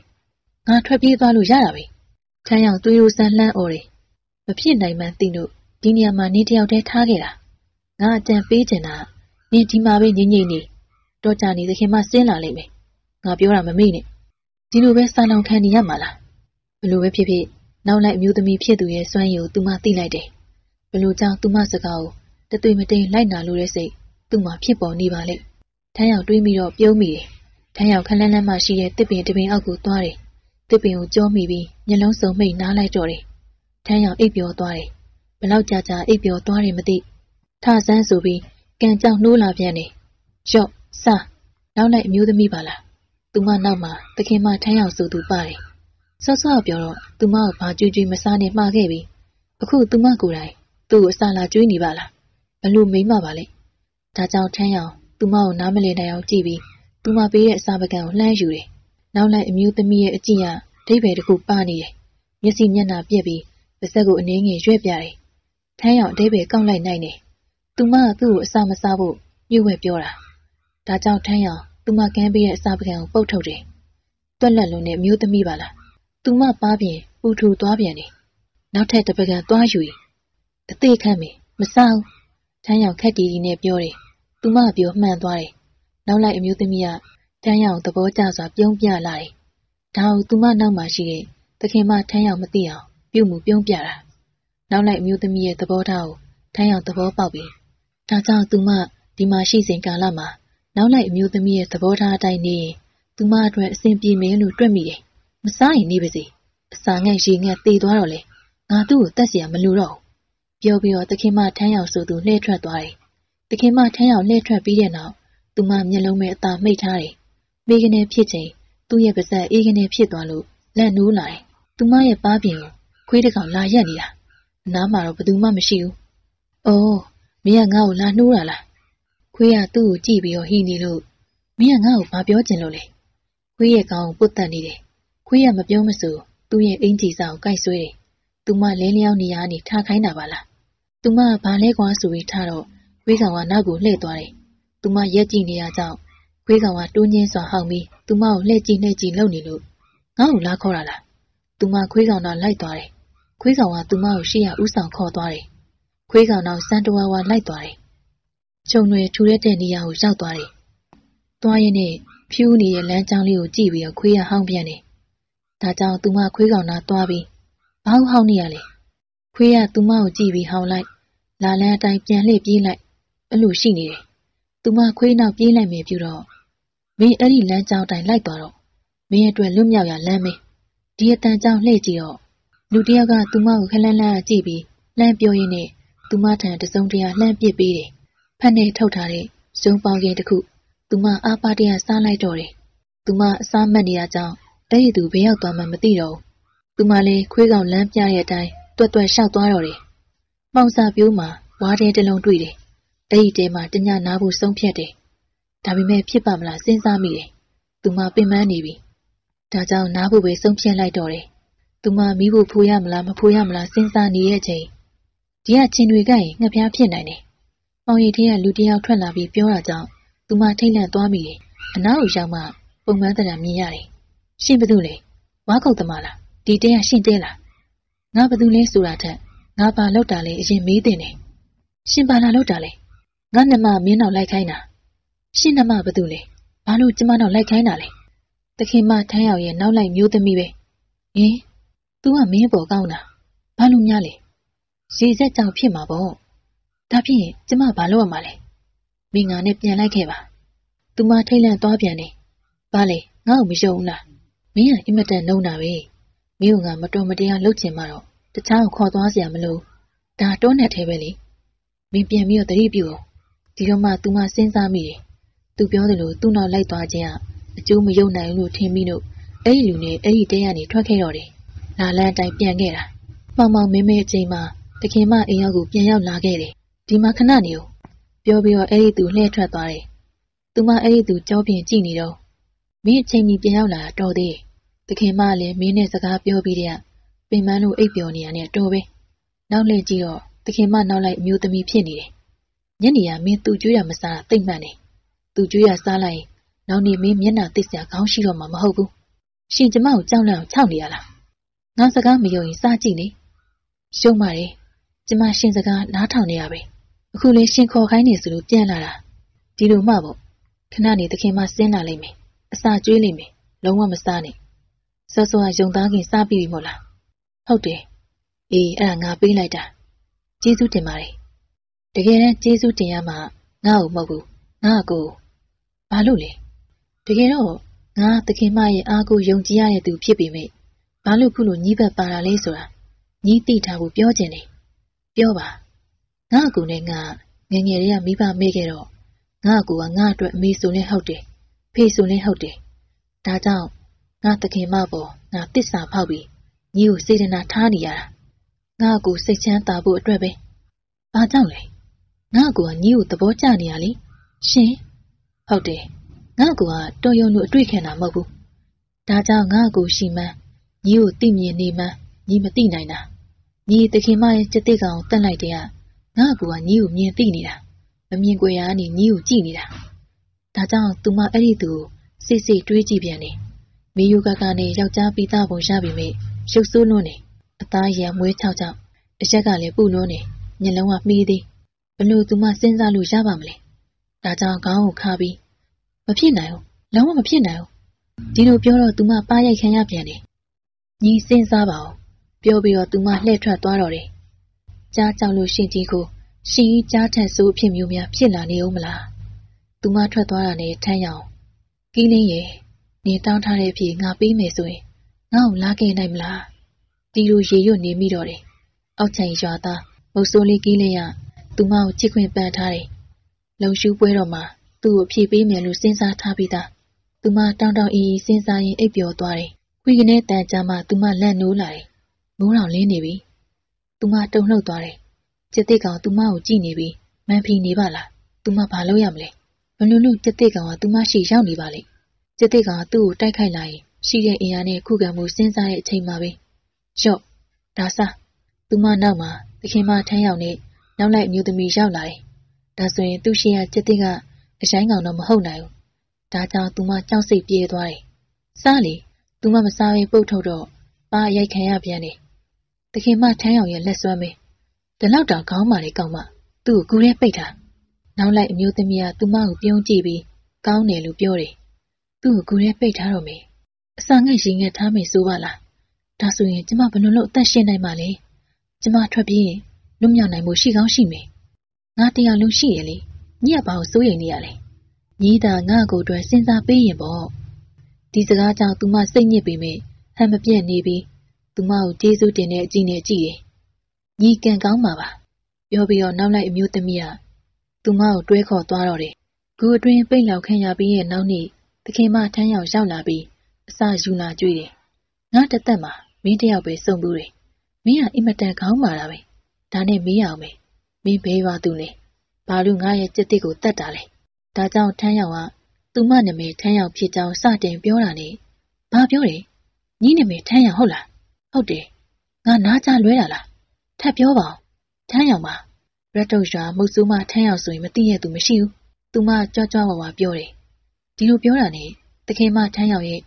ဒေါသရကြီးပါရိုက်ခြင်းခံရပြန်တယ်။ဘဲပြန်ညပြန်ဇက်တိုင်မရက်မနာပဲ။နမဲထမ်းရောက်ဆိုတာနဲ့ဘာကြောင့်ခုလိုဆက်ဆံမှလဲ။ရာရာဆဆထမ်းရောက်နဲ့ငါလိုတခင်မသားလေးထမ်းရောင်နာမည်နဲ့လိုက်ဖက်တာညီလိုအညာတရတယောက်ကထမ်းရောင်လိုနာမည်ပေးရတယ်လို့မှတ်ထားဒီနေ့ကစလို့လူလောကကြီးမှာထမ်းရောင်ဆိုတော့ငါတယောက်ပဲရှိရမယ်ဘယ်ထမ်းရောင်မှမရှိစေအောင်ပြောပြီးတော့လှည့်ထွက်သွားတယ် ထမ်းရောင်ကနောက်လိုက်အမျိုးသမီးကိုနားမလည်နိုင်စွာကြည့်တယ်ညီမအခွင့်အရေးတစ်ခုပဲရှိတော့တယ်နောက်လိုက်အမျိုးသမီးတူးတူးကက်ပြောတော့ပြောကြည့်နေငါ့ကိုလက်ခံမှုပဲစဉ်းစားတခင်မညီးနဲ့ပတ်သက်ပြီးဘယ်လိုဆုံးဖြတ်မလဲမသိဘူးမိစဉ်ကြည်ကရမှာတခုတော့ရှိတယ်ငါကိုအတွက်ဦးစားပေးစဉ်းစားနိုင်ခြင်းဟာညီအတွက်ခွင့်လန်းကောင်းမင်းတော့ပြောပြီးတော့သူမလှည့်ထွက်သွားတော့တယ်နောက်လိုက်မျိုးသမီးကသူမထံအထုပ်ထုပ်ပြစ်ချသွားတယ်ရုံသားပေါင်မိခင်မလား ထမ်းရောက်အားရဝမ်းသာစားတယ်တခင်မကျွေးတဲ့အစာပကံကိုတော့သူမတို့တော်မကြည့်ဘူးဂျီနိုနီးနဲ့ထမ်းရောက်တခင်မထမ်းရောက်ကျွေးတဲ့အစာကိုမစားဘဲနေခဲ့တာဒီနေ့တိုင်ပဲဖြစ်တယ်လို့ပြောလာခြင်းကိုကျွန်တော်နဲ့ကိုလင်းလက်ခံနေဆိုပေမဲ့ဒါနဲ့မင်းဒီအချိန်ထိဘာမှမစားဘဲနေရတော့မဟုတ်တော့ဘူးဟုတ်တယ်လေနောက်လိုက်အမျိုးသမီးခိုးဝက်ကျွေးတဲ့ရုံသားပေါင်တစ်ချောင်းစားနေတာပေါ့ဒါကိုသခင်မထမ်းရမသိဘူးလားလုံးဝမသိဘူးဘာလို့လဲ သူရောက်လာတိုင်းကျမနောက်လိုက်အမျိုးသမီးအကြံပေးတဲ့အတိုင်းအစာပြည့်ရေငတ်ပုံစံနဲ့နေခဲ့တာဒါနဲ့ပြောပါဦးမင်းရဲ့နောက်လိုက်အမျိုးသမီးအကိုကိစ္စရောဒီလိုပြောတော့ထမ်းရောင်ကကင်းလင်းကိုဝေဝါးတဲ့မျက်လုံးစုံနဲ့ကြည့်တယ်။သူကြည့်နေတဲ့အချိန်ကင်းလင်းကသူမဘာပြောမလဲစိတ်ဝင်တစားနားထောင်နေတယ်။သူ့အကိုလက်ခံမယ်လို့ပြောလိုက်ရတယ်လေ။ဟင်ကင်းလင်းမျက်နှာပြတ်သွားတယ်။မင်းသူ့အကိုလက်ခံပြီဆိုတော့မင်းကိုချက်ချင်းဘာလုပ်လဲ။ဟိုကလွတ်မြောက်ဖို့ပေါ့။ နောက်လိုက်အမျိုးသမီးပြောတာတော့မင်းဆုံးဖြတ်ချက်နည်းနည်းနောက်ကျသွားတယ်။ဒါပေမဲ့အားမငယ်နဲ့ငါတခုခုစဉ်းစားအောင်မယ်။အကူနဲ့တိုင်ပင်အောင်မယ်လို့ပြောတယ်။ဘာလို့လဲ။ကျမနာမည်ထမ်းရောက်ဆိုတာတခင်မသိသွားတာကြောင့်ပဲတဲ့။ဘာဆိုင်လို့လဲ။ကျမလည်းနောက်လိုက်အမျိုးသမီးကိုအဲ့လိုမေးတော့ဒီလိုပြောတယ်။ထမ်းရောက်ဆိုတာလူလောကမှာဘသူမှမရှိစေရဘူးဆိုပြီးတခင်မထမ်းရောက်ကနောက်လိုက်အမျိုးသမီးကိုသူ့လွတ်မြောက်သွားရင်ညီသူ့ကိုစားခံရမယ်။ သူ့အစာငဲ့ရှိပြတ်တာငါမြင်ကျင်တယ်ဆိုပြီးတစ်ချက်လို့အမိန်ပေးလာလို့ပဲ။ဒါကြောင့်ကျမကိုသူကင်မထုတ်နိုင်ခဲ့ဘူး။ဒါပေမဲ့ကျမကိုခိုးဝှက်ပြီးတော့အစာကျွေးခဲ့တယ်။တနေ့နေ့တော့တမျိုးတစ်ပုံဖြစ်လာမှာပါလို့ပြောတယ်။သူကျေးဇူးကြောင့်ခုကျမရှင်တို့နဲ့ပြန်ဆုံနိုင်တာ။တော်ပါသေးရဲ့။တပြင်းချပြီးပြောလာတဲ့ကီးလေးကိုသဘောကျစွာကြည့်မိတယ်။သူဆိုလိုတဲ့အတိတ်ပဲကိုသဘောပေါက်လို့ကျွန်တော်နဲ့ကိုလင်းပြုံးပြီးတော့ကြည့်မိတယ်။ဒီလိုနဲ့ကျွန်တော်တို့ နောက်နေ့မှအဲ့ဒီနေရာခက်စောစောထွက်ခဲ့ကြတယ်။ကျွန်တော်လေးယောက်ရှောက်ခဲ့တဲ့လမ်းတစ်လျှောက်လူတန်ဆူဆူညံညံကြားရတဲ့နေရာတွေကိုကိုယ်ပဲရှောက်ခဲ့လို့အဲ့ဒီလူစုဖမ်းဆီးခြင်းကလွတ်မြောက်ခဲ့ကြတယ်။လက်တလောကျွန်တော်တို့ရက်ထုတ်ရွာကိုမဖြစ်မနေပြန်ခဲ့ကြပြီးထမ်းရောင်အနံ့ရင်ရွာလူကြီးကိုအကျိုးအကြောင်းရှင်းပြခဲ့ကြတယ်။တေရွာပြန်ထမ်းရောင်လို့ရွာလူကြီးကပြောတာကြောင့်ရက်ထုတ်ရွာလေးမှာတေရွာပြန်ထမ်းရောင်ဆိုတဲ့မုတ်ဆိုးမလေးကိုလူတကာစိတ်ဝင်စားကြတယ်။ထမ်းရောင်ရဲ့အဖြစ်အပျက် ကျွန်တော်တို့ကြုံခဲ့တဲ့အဖြစ်အပျက်တွေကိုလက်မခံသူအချို့ကမျိုးမျိုးဝေဖန်ပြောကြတယ်။ဒါမဖြစ်နိုင်ဘူး။တော်တဲ့မျက်စိနဲ့လမ်းမပြီးတောချောက်ခံရတာတွန်းမောက်ခံရတာဖြစ်မယ်။အချို့ကလည်းထမ်းရောင်မလို့တမာသူတွေကမိမမုတ်ဆိုးမှဆိုတော့တောဆောင်နဲ့တွေကမကြိုက်လို့ခုလိုလောက်တာနေမှာ။ဒါကြောင့်ကျွန်တော်တို့တောင်ကိုယ်တိုင်ငါတို့နေတဲ့နေရာလေးကိုရောက်ခဲ့ကြပြီးထမ်းရောင်ပြန်ခေါ်လာနိုင်ပေမဲ့ဝီဝီဝါဝါဖြစ်သွားလို့ဒီလိုလုပ်မယ်ကိုလေကျွန်တော်တို့အဲ့ဒီနေရာကိုပြန်သွားကြည့်မယ်။ကောင်းတယ်။ ကျွန်တော်တို့တကြီးကိုခေါ်ပြီးတတိကောင်းတဲ့ရွာသားချို့နဲ့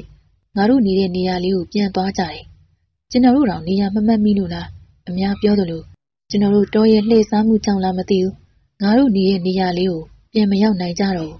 တပတ်စင်ရဲ့တောတောင်နဲ့လှည့်ပတ်ရှာပြီးမဲ့အခြေအနေပဲနောက်ဆုံးကျွန်တော်တို့လက်လျှော့ပြန်ခဲ့ရတော့တယ်